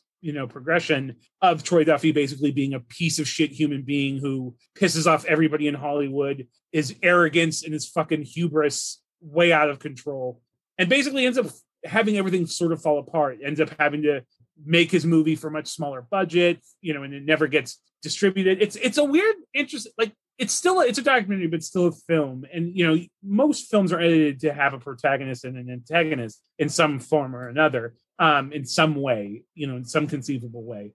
This is an interesting documentary because it actually has two villains. Because Troy Duffy is the villain. He is, uh, you know, at no point is this a likable human being. But then also Harvey Weinstein is the villain because which Harvey Weinstein was the villain, you know, when this movie came out reality has proven he is a much bigger, more despicable villain, as we've come to find out. In fact, that's how much I hate Troy Duffy. Is I found myself sort of rooting for Harvey Weinstein through watching this movie, rewatching it for like the mo- you know, you know, being like, yeah, th- thanks Harvey for fucking this guy. I'm like, oh, I don't want to, I don't want to support Harvey Weinstein in any way. But he, Troy Duffy. First off, you. God, I, I really wish somehow this podcast would get into Troy Duffy's hands. Uh, because I I don't think I ever see an occasion where I could actually say this to his face. But first off, dude, your shitty ass band, The Brood, um, dude, your brother's wearing a bowler hat. You're wearing fucking leather trench coats, holding Rottweilers. You were the this was the Korn. That band was not knowing that his shitty band sold 690 copies of their album fills me with so much joy. Uh, what doesn't fill me with joy though is the fact that the film does has found an audience that I, there are people who love Boondock Saints. Boondock Saints is encapsulates everything I hate about a certain demographic of Americans. These sort of Americanized I, people that sort of are way too proud of their Irish heritage. Um, they think that their Irish heritage somehow makes them badasses, or or ultimately it's the very thinly veiled racism that encapsulates a certain not not every Irish American person is this way. I'm, that's not what I'm saying. I'm saying as somebody who is from Boston, Massachusetts, I can verify that there's a segment of very over overly enthusiastically proud Irish Americans uh, who are also very racist, homophobic. They're just they encapsulate like the worst part of humanity. And they just inevitably all think like trench coats, leather trench coats, and uh, goatees and fucking bowler hats apparently are like the height of badassery. And I just hate those people. Anyways, weird tangent, but uh, uh, still based in all truth. You know, at one point, like this is a dude that is caught on film, sort of, kind of sexually assaulting a drunk girl. Um, he uses the term uh, Jewish as a like offensive, you know, sort of stereotypical, uh, you know, cheap or whatever. He's he just a real scumbag people of, of being Jewish. Like, I know that's the thing. Anybody who can accuse somebody yeah, of being yeah. Jewish, that's that's that's a bad egg. yes. And you know, it's unfortunate because like the Boondock Saints has like you know Billy Connolly's great in it. Um, I I still don't think the Willem Dafoe performance is as genius as and I love Willem Dafoe. I love Willem Dafoe. I don't think his performance is in that movie. I, I think a bet like that same performance with a better writer and director could have been a better performance. But I give him credit. Like you know, it's it's a very interesting choice the way that that his character is portrayed the the Dafoe character, like, okay, we're gonna need a badass to come in and stop our boys, but who eventually is gonna, you know, like our boys because, well, geez, I'm the police, and these guys are doing my job for me. Maybe I should be on their side. That's kind of the attitude he takes. But there's a part of me that just I can hear in his head like, what can I do to make this guy even more extreme? I know I'll make him gay which I'm sure gay was not the term that he was using in his head, Gay. by the way. Yeah. Um, I, I, I'm sure he was using a different term that Oh, started no. with an yeah, F I agree.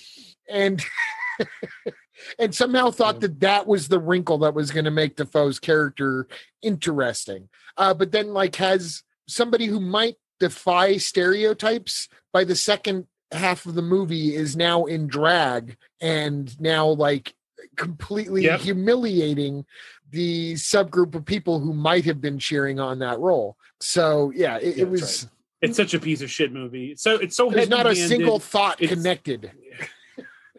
exactly. And the thing is, like, even bad, like, you can empathize with you know bad people because everybody's human. But it no, and it, it's it, of course it's edited. You know, a- as anything, the real power of film lies in the editing. You know, you can edit anybody to seem like a like a good person or a bad person if you choose to only. You know, I'm saying like, but at the same time, this is a guy uh, throughout the whole film is very much consistent with his. I mean, he's just a fucking egomaniac. He's a narcissist. He's abusive. He's a liar. He's just he's always talking like talking about like th- there's it's so fucking embarrassing watching this movie. Just watching this guy pontificate and just like basically just like oh I I deserve everything because I'm a genius and you know it's, it's so. But it's so delicious because I hate this guy so much. I hated him before I knew he existed. Like just watching Boondock Saints, I was like, this guy, this voice because this the, the film has a very strong voice i will give it that it definitely has some sort of like creative point of view it's just a point of view i can't stand. And i knew that. And then just watching this guy i'm like this is exactly who i thought it was. So watching that guy sort of just fall apart and like have every like lose everything because he's such a piece of shit. But it but the thing is that also makes it so fascinating is to say first off again this is a period in history that we'll never see again where it's just sort of like where there was Hollywood was still going after these sort of, and, and maybe we'll see it again, but I don't see it happening anytime soon. Where you know currently Hollywood is all about big tentpole movies, you know, big superhero franchises, remakes, sequels, prequels, everything. You know, this was a time in Hollywood history where like a young new voice, an exciting new voice, an original point of view. Hollywood's trying to like capitalize that because of the success of that guys like Tarantino and Kevin Smith to a degree. So, you know, this was a period in time that's fascinating because this was a time when, you know, just some Joe Schmo bartender guy could get like a film career. And it was also fascinating because we really get to see like the ins and outs of dealing with distribution issues, dealing with the way that like, you know, if you piss off one person in Hollywood, you could fuck yourself up forever. And so for that reason alone, it's fascinating. But for me specifically, personally, it is one of the most rewarding films because I'm I and it's terrible. I should not I should not celebrate somebody else's failure, but man, do I. And uh I, I it's mm, it's like it's like a warm bath or a nice bowl of ice cream. I just I eat it up because I lo- I just love watching that fucking dude just lose everything. Because I I mean I guess I'm not I, I, maybe I'm also a villain, but I guess I'm comfortable with it in this moment. Well, you're not wrong. Um, I, I actually I have a connection to this film because I was I was there at the premiere. It premiered at the Film Forum in New York City, where I was working at the time, and the the two guys who directed it, who were the uh, the two guys tasked with being docu- personal documentarians for Troy Duffy, they were there and were able to to tell even more of the horrendous story. Um, and and also we found out uh, because we asked them, um, does Troy Duffy know this movie exists yet? And apparently he didn't. He found out when it came out, um, which is a nice little. I love it. um, but but we were curious. I think because part of us wanted to know, like, do we need to watch out for this guy? Because we're showing his movie. Is he going to come in here and throw a fit? Please let him come in here and throw a fit. Exactly. I want to see this happen in real time um, because there's nothing he can do to us. Um, of course not. but uh yeah they had something like 400 hours worth of footage that they edited down into this uh 80 some odd minute documentary and i i agree there's something that robert evans of all people it- it's uh the quote that starts the kid stays in the picture there are three sides to every story your side my side and the truth True. and none and none of us are lying so there there are nuances and i know that out of the three four hundred hours worth of footage they had they had the filming of the movie and and he seemed to actually be on a creative high on the set of the movie. So they probably could have made a movie that was positive about him, about the actual production, uh, and and skipping all the the pre-production nightmares. But th- here's the thing: Troy Duffy gave them no reason to see him see them in in that light. Someone who could do this some this thing to people in his influence, and to to think that he could treat the world the way that he tried to treat the world, let alone Yep. the movie industry, let alone Harvey Weinstein at the peak of his powers. Um, Yeah. you know, there's a scene where Troy Duffy at the end is speaking to a film school and he is so just rambling and calling them out on what he perceives as the film school bullshit. Yep. Someone who could just do that, that one act, ignore the rest of everything else, that one thing proves to me that the rest of the movie is the truth. The rest of the movie is showing Yep. the real story and not the happy spots of the 400 hours that he filmed, of which I'm sure there was lots. Um, I, I think maybe it got a little sleazy in showing some of the bandmates being womanizing behind the scenes when they were drunk, and I, I think that there were colla- there was collateral damage to Troy Duffy's breakdown, and I think his bandmates were part of it. But I can't imagine the level of really like PTSD levels of FOMO of watching his meteoric rise and being part of his band or being one of his bros, you know. Nobody wants to walk away because this guy does seem to be pulling it back together and getting his movie made and getting the album deal and and all of this. So I feel bad for everybody that's connected to him. Uh and and I do think that just being in this person's hubris can create negative behavior in the people around him and I feel like maybe some of the bandmates deserve But then better a- than the but- treatment in the film. But uh, first off, I, I will say this though. Uh, first off, if you're a piece of shit, like if you're trying to pull down drunk girl shirts and shit, and it's caught on video, fuck you. You you're a scumbag who. I mean, uh, to me, it like and like in the. Point- I don't know if it's his man. you, you're right. You're right. It's been a little while since I've seen the film. I forgot it was that I mean- aggressive. I'm thinking that it was in my head. I'm thinking they're just kind of slobbering over each other. I mean, there, there's there's all that. I mean, there's a tons of that, and they're talking very crude about women and stuff. But um, at one point, like his producer, which maybe this is a little sleazy, but like the I don't know if it's his producer, his his his um Troy's manager, some tall dorky guy in glasses. Like one scene, he's like with his his he's basically drunk on camera saying like oh i live with this my girlfriend supports me you know i love her she like she pays for everything and then the very next clip is him trying to fuck with this sleep with this other girl at the bar and like she's like and i was like uh, and i'm like yeah that's a little that point is a little like sleazy but also fuck eh, Yeah. like, anybody anybody who is pulled into that dude's orbit the only people i i feel bad for are his fucking family and especially his poor brother who like is the guy who's like you know just trying to like hey man i just want my band to work and he's like I think that's know- what it is. I think it's the brother. I think when I say that I feel bad for the bandmates, what I mean is I feel bad for Duffy's brother,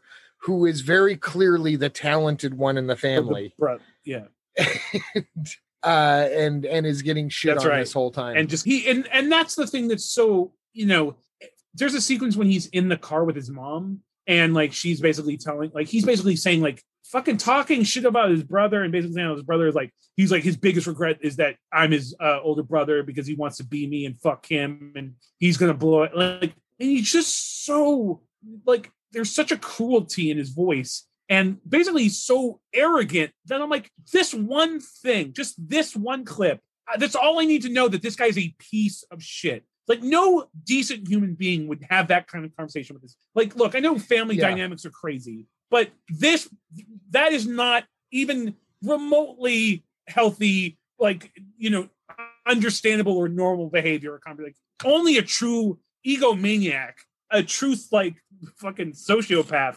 has that sort of point of view. But either way, um, I, I think it was, it, was, it was sociopath meets alcoholism meets Harvey Weinstein. And Harvey Weinstein was not the yeah, Harvey Weinstein fucked with this dude. And Harvey Weinstein Yeah. never should have been in business with this dude to begin with, even if we didn't know what we know about Duffy. Um, I, I did research some stuff on what Duffy has done since, because all I knew was that he over a decade later finally did Boondock Saints Sequel. 2 and now over a decade later he's promising to do Boondock Saints 3 so clearly he's he's he's got one note and he keeps on trying to hit it Yeah. um I did hear his story though of what he perceived Harvey Weinstein had done to him. And he was actually pretty right on about it. Harvey Weinstein was fucking with him. Um, it doesn't make Troy Duffy a good person that Harvey Weinstein was fucking with him. Harvey Weinstein is a piece of shit. That yeah, exactly. Exactly. And I was listening to see if maybe I could find some sort of humanity in Duffy nowadays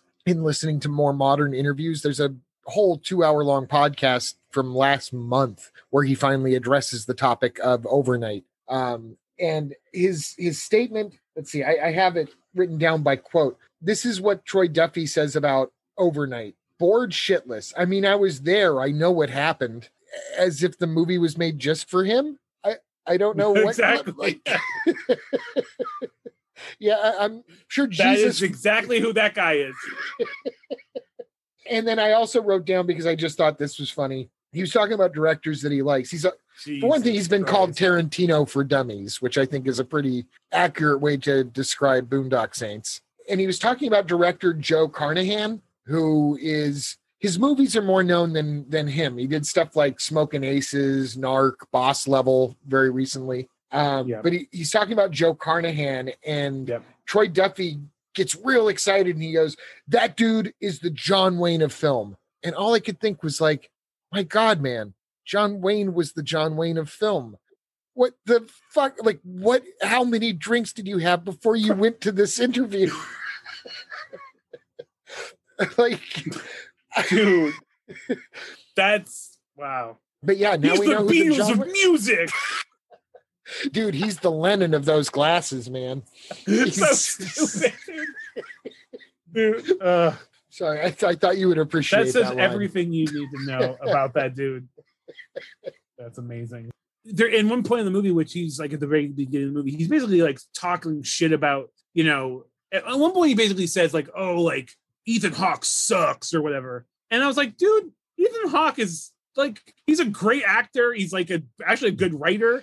I'm like, what a what a bunch of pontificating try hard bullshit. Like of all the, and again, you know, at the time he was like a young, but I'm like that that like right there, I was like, dude, you don't know shit about film. You don't like you suck. Like I, it, I I don't know why I got so offended by it, but I was just like, dude, give me a break.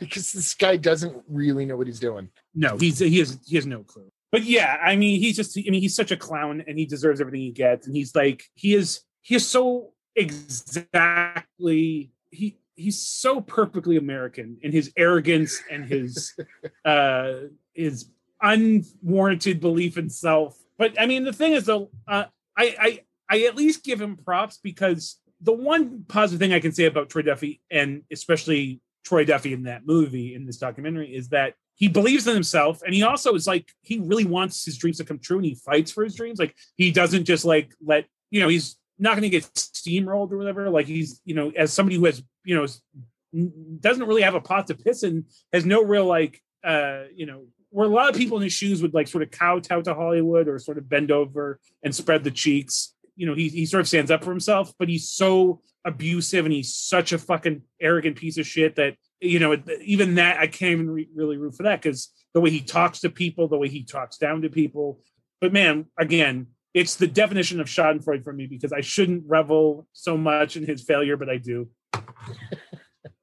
Well, my final movie uh, is in a sort of nod to our unofficial year anniversary is Boogie Nights, which I, I picked because uh, maybe it's not the filmmaking that people think about when they think of movies about filmmaking. Uh, uh, but Boogie Nights is a masterpiece, and it really is. Aside from the fact that it's a melodrama about this group of people, it, it really there is a lot of stuff on set. There's a lot of cameras being used, and a lot of the filmmaking process is, is displayed in it. And I I truly think that this this film takes place specifically at the time when pornography could have become never mainstream legitimate but could have become legitimate cinema. Exactly. I I, I have not studied pornography, um, at least not in the historical sense. Uh, but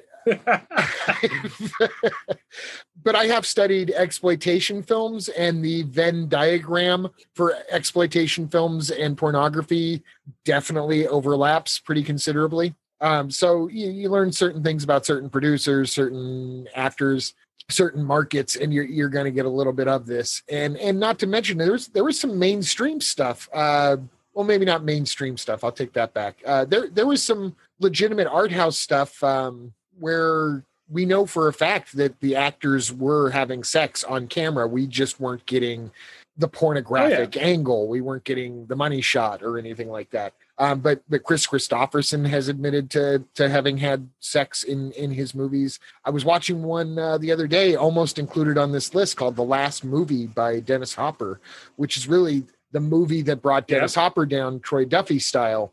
Hopper was was nuts making that. And there's a scene where he's having sex with a lady under a waterfall, and you can tell that there was not a stunt double used. Um, so so this type of filmmaking was starting to in the late 70s um and a little earlier than that was starting to to become part of the independent movement and uh, I, I, think what happened with the advent and the popularization of home video and all of this stuff that destroyed the uh, artistic pornographic world was also the stuff that, thank God, saved us from uh, having to deal with too many sex scenes that were actual sex scenes uh, in in our regular movies. Um, but the fact that the the popularization of videotape plays such a part in the storyline of Boogie Nights is why I still consider it a filmmaking, uh, a movie about filmmaking. Um, because aside from just the cheeky side of that, there really was a legitimate period of time where things could have gone some different directions.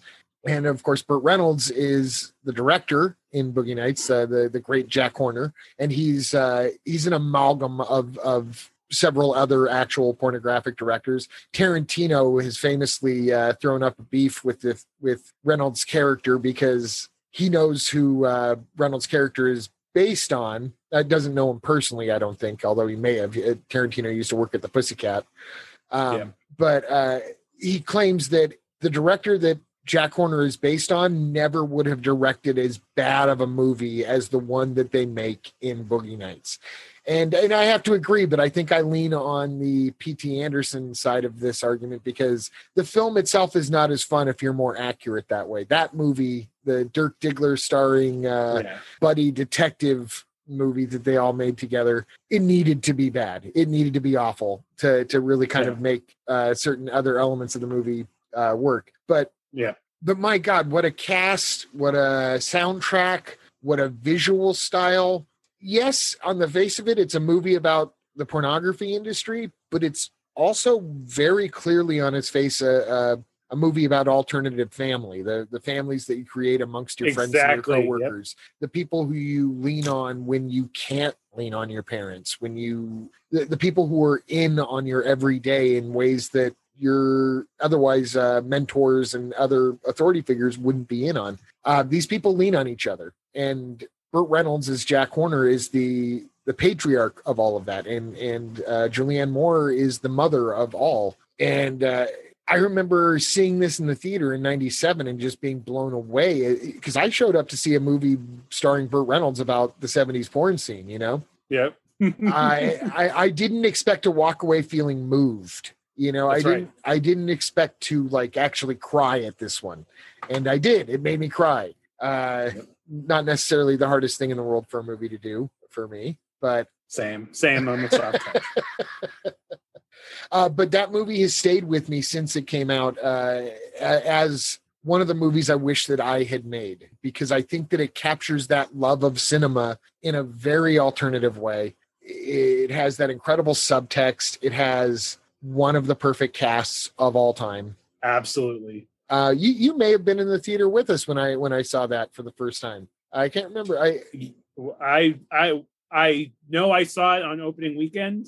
I know we I was with a big group of people. I know we all loved it. So uh, okay, uh, I probably was with you. yeah, I'm, I'm sure we were. We just weren't sitting together. Uh, but yeah, that back then we used to uh, walk up to the uh, box office and say, "Yes, I'd like twenty for Boogie Nights, please." That's right, and, for real. Yeah, no. Somehow we, we made this work. I don't. Yep. God, those are good days. But yep. uh, but yeah, that. What, what are your thoughts on on Boogie Nights? Uh, uh in particular, uh, what are your thoughts on the the film elements of Boogie Nights? Well, first of everything you said, I I agree wholeheartedly. I think first off, it was a film that sort of launched a bunch of careers. I think uh, uh it was a platform for a bunch of sort of uh, unknown actors at the time, the John C. Reillys, the uh, Don, Don Cheadles. Like there was a ton of people who sort of it was sort of their launching pad. Uh, it's one of the, like you said, it's one of the greatest casts, one of the most brilliant films in how it approached its subject matter, what it had to say, how it balanced comedy with a lot of heart, like a lot of heart about a subject you wouldn't normally associate with that. Um, but as a film, like there's a specific sequence which I think you were even referenced as far as where you know these producers are coming to Jack Horner to basically trying to convince him to go to video, and he has this whole thing like I'll never do video, and it I remember being in theater being like, wow, yeah, that's I never thought about that, but how that really does like as a filmmaker is like you still if you still consider yourself an artist and the changing of format and like you know uh, that inevitable either you have to sort of get on board and uh, or get out of the way but you know change is coming progress is happens and like uh, you know how like something like that it's more efficient more cost efficient but how it actually changes in art form. There's a lot of concepts in that scene outside of like cocaine and all other sort of crazy shit happening in that around that same sequence. But I just remember being like fascinated in that point because there's a point of view I never thought about before. Um, and it's re- very relevant to this day with a changing of, I mean, whole large topic, but like, you know, how there's people who think that like film should only be shot in film and digital is trash. There's people now who making movies on their fucking cell phones. There's whole fucking film festivals for film shot on cell phones and stuff. So I mean, it's just these things are constantly happening, and you know, culturally, there's going to be people impacted by those changes and and and things like you know progress and technology and stuff. It was just fascinating, not where I would have expected from my my pseudo John Holmes biopic movie. You know, like it's just not you know those big picture stuff. But it, I mean, it's one of the greatest. I I think I mean it's definitely better than Hard Eight, but Hard Eight was great too. But it's such an accomplishment from a fucking such a young director. Paul Thomas Anderson was uh, like a baby. What he's like twenty five or twenty. He was a he was a baby when he made that movie. It's embarrassing it's to me personally how young he was when he made something yep. that good with people in it that I would die to work with. One hundred percent legitimate. I, I, know, and I mean the thing of it, and it's still. I I think the thing that I get most upset about to this day is the fact that you know I, you and I have talked about it. I think multiple times, but of all the movies for Burt Reynolds to be to hate, of all the performances for him to be mad at, that's the one you choose to be mad at. Like your best perform, like the, oh God, do the whole. The, he's so good in it, and he's such a real human being, and he has such heart and such like. There's such he, he's such a three dimensional person in that movie, in this sort of cartoonish, stylish porn film. Like, but he's so real in it. It makes me so upset that he can't appreciate or that he didn't appreciate how brilliant that uh, you know. I don't know. Anyways, couldn't agree with you more. Now uh, we, we're down to the the finale here. This is I, I, I happen to know what it's going to be, so I'm very excited to talk about this movie. But why don't you go ahead and tell us what this the last movie we're going to talk so, about? So my last movie detailing uh, a real Hollywood story is uh, Ed Wood, uh, which I still to this day hold as Tim Burton's masterpiece. I remember very foolishly at the time thinking that this was Tim Burton reaching a new level of both artistic achievement as well as sort of like critical achievement. Boy, was I wrong. Um, the movie flopped hard. Uh, it, it, I mean, it was critically acclaimed, but it, it flopped hard, made no money. Uh, and then he went on to make a bunch of shitty cash in movies uh, afterwards. But um, it is a, literally for me a perfect movie. Uh, and, and it's it's funny because it echoes so many of my same sentiments about Boogie Nights with a, a cast top to bottom, a cast of amazing actors. You know, very famously, Martin Landau won these Best Supporting Actor, rightfully so, for his portrayal of fucking. I don't know how accurate it is, but a very um, hysterical version of Bela Lugosi. One of the funniest. Even thinking about Martin Landau delivering certain lines in the movie fills me with joy and laughter. Uh, but also very others again, you know, there's a, a very true heart to the movie. People talk shit about Johnny Depp. It is this movie is why I will always be a Johnny Depp fan because I know what he's capable of. The character of Ed Wood. The one thing I love about so yes, it is a biopic movie, But unlike every other biopic movie that tries to like sort of cash in on the melodrama of of the real person's life and sort of either deify them or you know sort of paint them as either a tragic figure or sort of a you know this movie it has so much heart but it doesn't take itself too seriously. I mean, the script is so fucking brilliant, but Ed Wood is one of the most pure. Like this, you know, I'm not going to tell. I don't know the real Ed Wood. I don't know. Like, I mean, his life, you know, had a lot. He's it was a very interesting character. The end of his life, you know, is kind of sad and tragic. But this version of Ed Wood is one of the most likable. Ed Wood, for a long time, sort of stood as this guy who had more ambition than he had talent, which we laugh at. But to me, I think it's sort of very heroic of somebody who wants to do something so well, and maybe he's not naturally gifted, or maybe he's maybe they don't have the you know the whatever. I mean, the advantages. there's a lot I could kind of delve into, but he makes movies because he's such a fan of movies and he loves movies so much. And I think that's heroic. I think that's great. And I think I've, I've talked about it before. I don't believe in loving things especially film or anything artistically, ironically, I love them despite flaws, or I can look past flaws to see what the intent of the film or the filmmaker was. Like, I don't, it's hard for me. I don't, I don't enjoy like, oh, it's so stupid or so bad. I love it. Like, while I get, I, I can, while I can appreciate that idea, and I, uh, uh, there's probably there's an element of that to the films I love, to films I love. I, I try to appreciate things for where the heart of that art, like art of any kind, has heart to it, or it should it should have a point of view. It should have like um, something to say, of course. But I think ultimately there should be a, real passion and desire to do it. That's why I think you know somebody like David Lynch stands above other people who make weird esoteric films just for the sake of making weird. You can tell that David Lynch is very honest. His heart is in his movies. Like you can he you know these are he's not just trying to be weird for the sake of being weird. David Lynch is a real artist because he puts himself into his films. Ed Wood put himself into his films. He just didn't have the technical know-how to sort of make them good films or uh, you know he sort of um, his taste levels maybe weren't there. But the thing is that johnny depp portrays ed wood as such an optimist as such a like he's such a sweet soul and has such a huge heart in this movie. You know sometimes he's an opportunist he's still a human being. Sometimes he like wants to exploit his friends because he he has, he has this drive he has a passion he has an ambition he wants to make the make the movies he wants to make. But he's he's got such a great he's just such that endearing like sort of you know sort of wide-eyed crazy smile that he does throughout the whole movie this sort of like the almost like child like yeah. Exactly exactly. And i just I, I i appreciate so much. I love the look of the film. I love you know even george animal Steele is tor johnson and the uh like the mickey mouse like there's just so many there's brilliance i mean bill murray sort of every time he's on scene surprisingly he sort of steals the show. But literally everybody in the film you know unfortunately um i don't want i, I i'm blanking on his name but uh the actor who portrays kreskin not kreskin um uh good lord. Jeffrey jones playing criswell.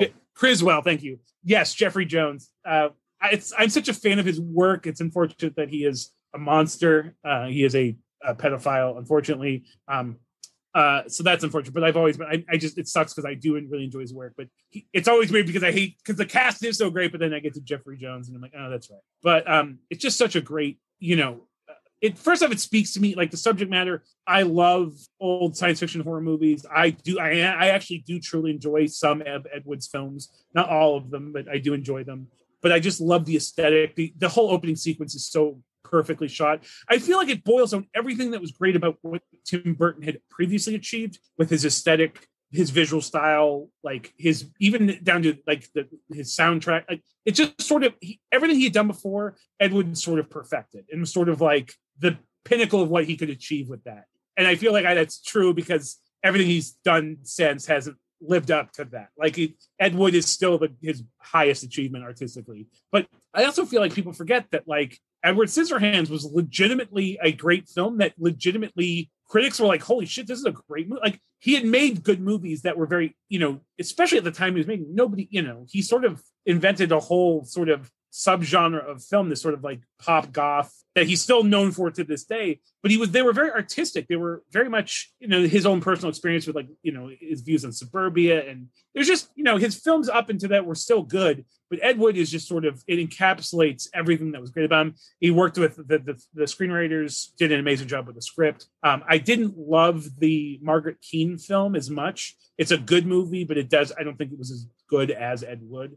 Uh, but I remember when they Tim Burton was attached to that Margaret Keane movie. I was like, oh, and it's by the guys that did Ed Wood. This should be amazing because I do also love Ed Margaret Keane and I love that aesthetic as well. That sort of 60s, 70s, like post mid century sort of aesthetic, anyways. But anyways, I'm getting off topic. But either way, what I love about this movie, though, specifically in how it relates to Hollywood, besides the fact that again it's based off a real filmmaker, is that it does show this sort of like it's very much exactly what you said about Boogie Nights. It's weird that they're sort of very similar. That I'm sort of as I'm thinking about it is that these are people that are making movies that nobody respects. Fucking, you know, the monster with the atomic brain, like all these like mad scientist movies and stuff. They're not. They're movies that you know nobody actually respects, but they're Edward made like his little family of people and they all supported each other. And yeah, maybe not, they're not going to be celebrated. They're not going to get rich. Maybe the rest of the world doesn't get it, but he built himself a little family, like this little family together, and they made their little movies together. And there's just something I,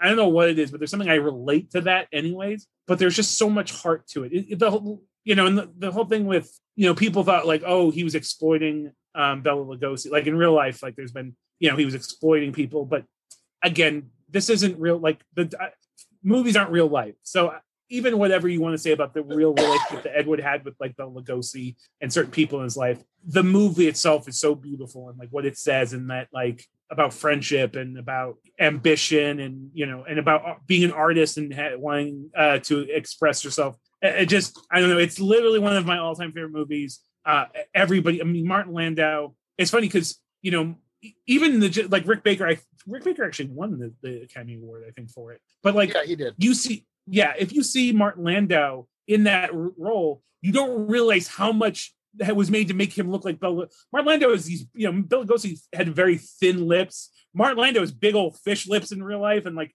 they had to like just all of the work, even artistically, in that like there's so much effort put in to make this movie about bad movie, this bad movie, you know, this bad filmmaker and his shitty movies. There's so much artist artistry and and, and appreciation made. Like the movie is a love letter to a certain filmmaker and even beyond that, a certain approach to filmmaking. And I, I love. I think it's one of the greatest beyond just what it says about Hollywood and all that stuff, it's just a movie I hold very close to my heart. So same here. I, I saw it. I remember seeing it uh, like a sneak preview a week before it came out. You know, back when they used to do that. You and I, we were both there, and they gave away uh, Ed Wood T-shirts. I think you and I were both there, not knowing each other yet. Oh, you know what? No, that wasn't. We got the maybe I maybe it wasn't the premiere. I remember it was like a theater in Riverside. I think it was a midnight. It was the day of the. It wasn't like a sneak screening. It was premiere night, but it was like midnight, the night of like ah. you know Thursday to right. Friday, whatever. And but they I remember they gave away the an Ed Wood t-shirt. This I never wore white t-shirts, but I wore this fucking shirt to death of him in this like the director's chair, like looking over shoulder, wearing the Angora sweater. But anyways, I wore that t-shirt to death and I cherished it. But yeah, it wasn't at a sneak screening; it was the the midnight premiere of it on on release date.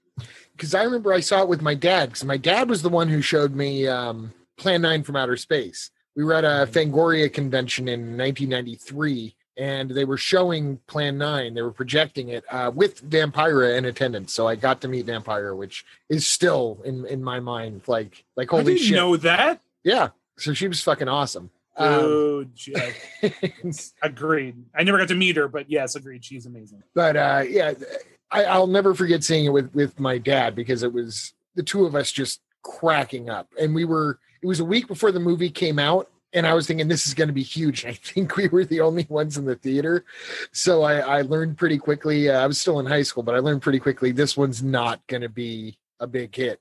I think that made me actually love it more. I think that made me push for it. I think it made me recommend yeah. it heavier, just because it is such a fun movie. And I'm glad you picked it for several reasons, but I do want to say I've been holding this in since you mentioned Chaplin.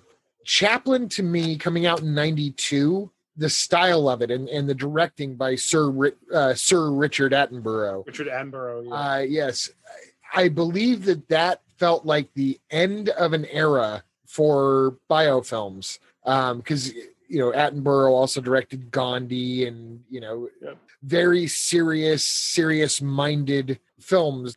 And to me, that was the end of that era. That was the goodbye. Um, it very well done. That's not a put down. And then Ed Wood came out in 94 and to me started off the new wave of what a biofilm was going to be from then on. Um, and that spilled into uh, well, it became what I think of as the Scott Alexander, Larry Karaszewski style of biofilm. Uh, those are the writers. They did Ed Wood, um, People versus Larry Flynt, uh, Man on the Moon about Andy Kaufman, the uh, Big Eyes, the one that you had mentioned. Um, they also did the TV movie uh, about uh, the trial of O.J. Simpson, and they most recently um, wrote the uh, latest Eddie Murphy film, Dolomite Is My Name, which That's right. was- I forgot that. they got that position. Yeah, they got that Yeah. that gig because Eddie Murphy was such a big fan of Ed Wood. And when Eddie Murphy met with them, he was quoting Ed Wood verbatim back to them, which I would I would pay to see that alone. Like Ed Wood, one man show by Eddie dude, Murphy. Fuck yeah, I'm in.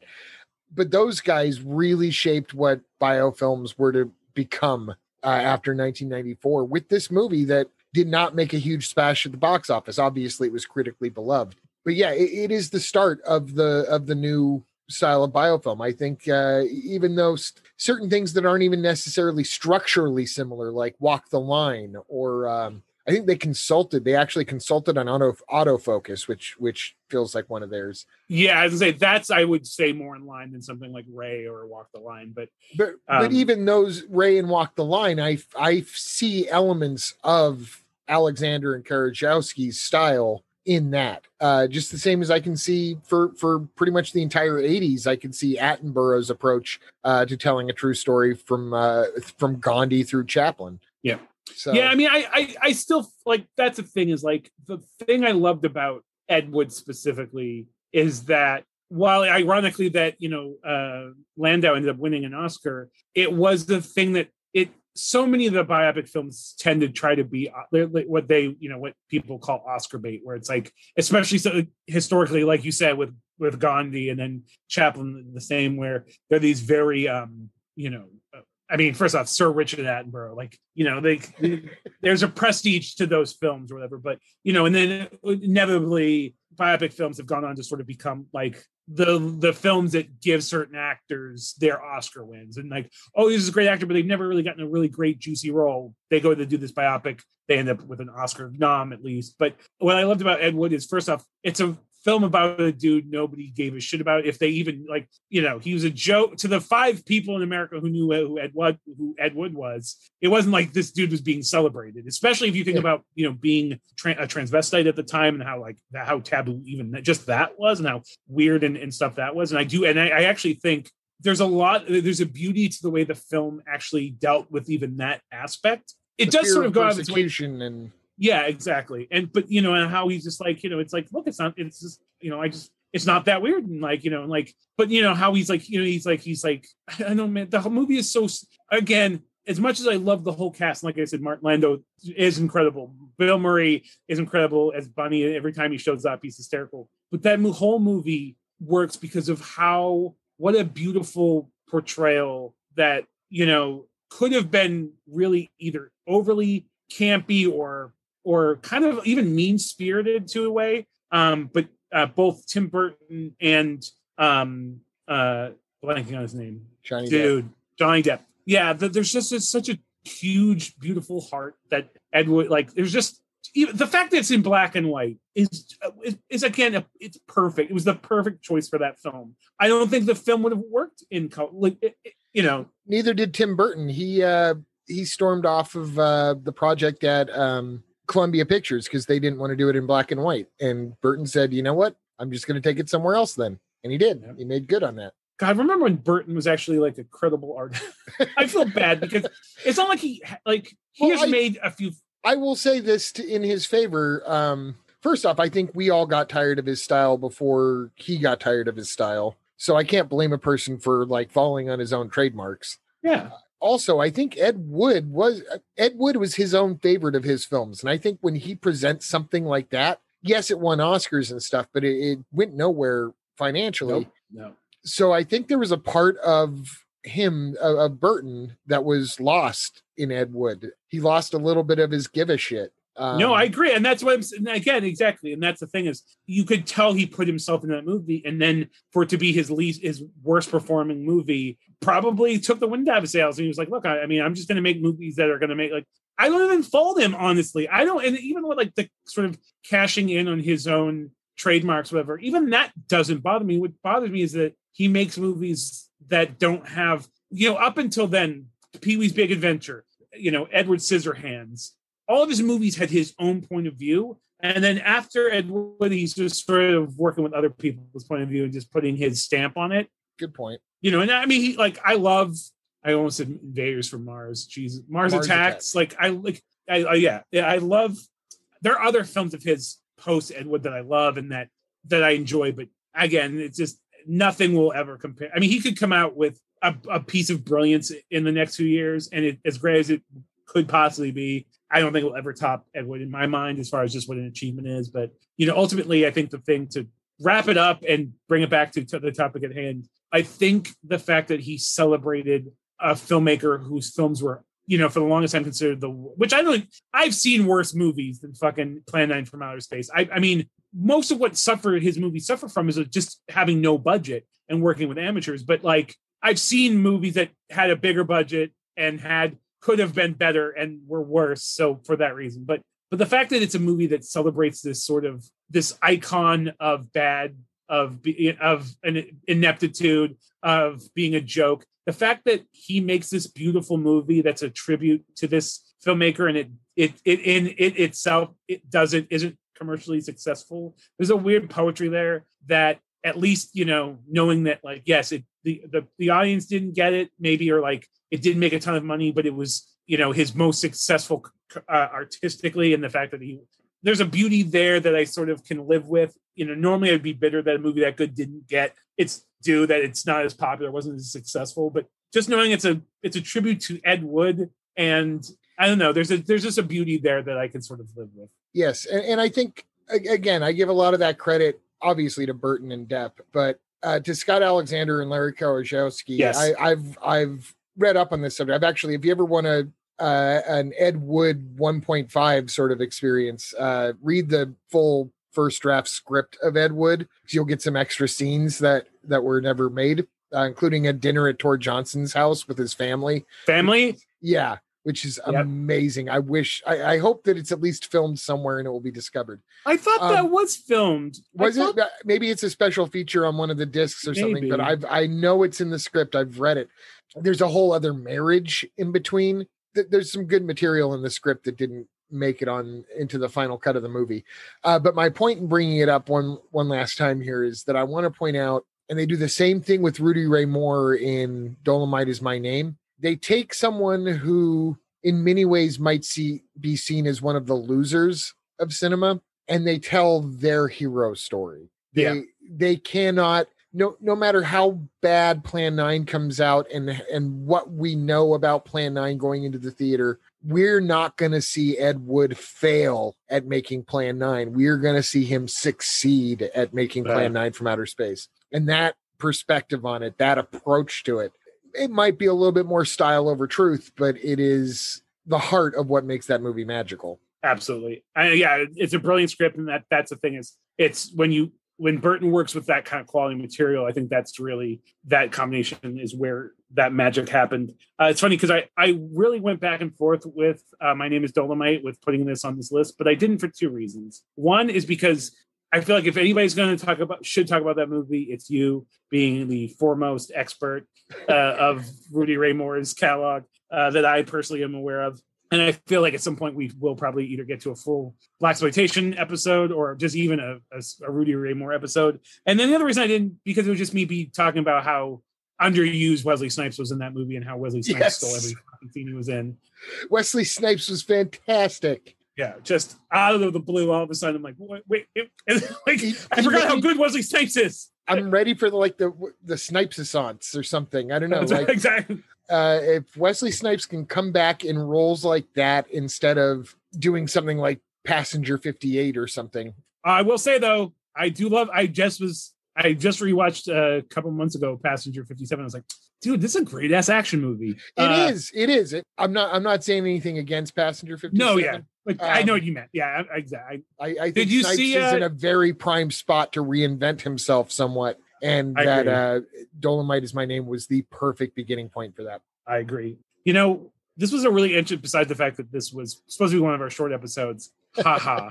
um, I'll edit it down for, for our listeners. This may not be as long as it was when we actually recorded it, but you know, the thing is, like, this is a really great. I think it was the perfect one of these to do because this podcast is all about film and film history and you know it's it's the the whole breadth of what film is. And i think this was the perfect one to do because we are talking about films about film which is so uh it's very ouroboros world. Um you know i think it's pretty interesting because you know until i started you know until you brought this up and i was looking i'm like there's weirdly not a lot. You would think as much as hollywood is self-referent hollywood seems to be self-referential there's not a lot of really there's not a lot of movies specifically about like filmmaking itself, and most of them are maybe not that great. Um, I feel like we there's a lot, a lot there on the periphery. You know, even something like Blazing Saddles is sort of like there's an element about Blazing yeah. Saddles that's about making movies. So there's, there's a meta there's great, element, uh, or whatever happened to Baby yeah. Jane. They're both actors, Jane, yep. and that yeah, yeah. But I mean, this maybe down the line it would be one to revisit, but I thought this was a perfect one, first one to do of this sort of series because you know it's yeah, like it's movies about movies, and it's sort of very relevant to what this podcast is about. Absolutely. Well, I'm I'm glad that you uh, agreed to take this trip with me. I, I think this was a successful experiment in in our tone. I think it's probably going to feel like one of our deep dives, but let me tell you, if we did a deep dive on this particular topic, we would have probably another four, five, six hours to go. Oh, uh, yeah, no, it would. Yes, exactly. So, uh, so I, I think maybe the goal is to not to make a shorter episode, but to make shorter work for us to do behind the scenes. There you I go. Think is, that's how less, I'm going to go forward research. with this. Yeah, because we can some of these we can just jump into a little bit more because I, I, was very familiar with the the movies that we that we picked, although a, a few of them I had to rewatch again. I'm definitely going to go back and watch Overnight again because uh, sometimes it feels good to be that pissed off. Oh, I love it. It's it's again. I will probably end up. I hadn't seen it in forever. I actually own it. Very much like the Kid Stays in the picture. I own Overnight somewhere. I there. I recently this last year I reorganized all of my horror films, science fiction films, action films, and dramas.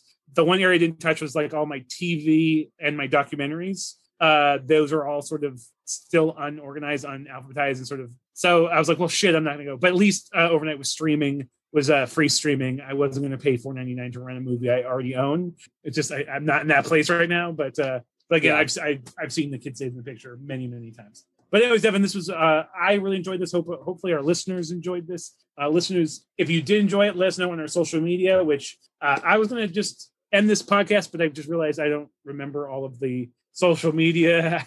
It's it's just just search us under Den of Cin podcast. Uh, there you go we we continue to not do a whole lot on social media, which is uh, to our detriment, but also uh, social media is a, a, creepy playground right now. So for real, yeah. For for multiple. With that reasons. with that said, though, we are going to be launching our Patreon soon. So if you are a fan of this podcast and would like to support us, uh, please look for that Patreon information soon. It will be eventually posted on our Ghost Town of social media pages. But hopefully like if you guys enjoy this you can help support and help this podcast grow if not that's fine too you can listen to us free on all of our, your podcast outlets anyways devin i'm going to end that there. This was a, a lot of fun. I really appreciate this. It was a great topic so thank you for coming up with the topic. And for our listeners thank you for listening. We appreciate your support. Until next time hopefully this uh, next episode comes quicker than we've been getting them out to. You it will. It will. We'll make it happen.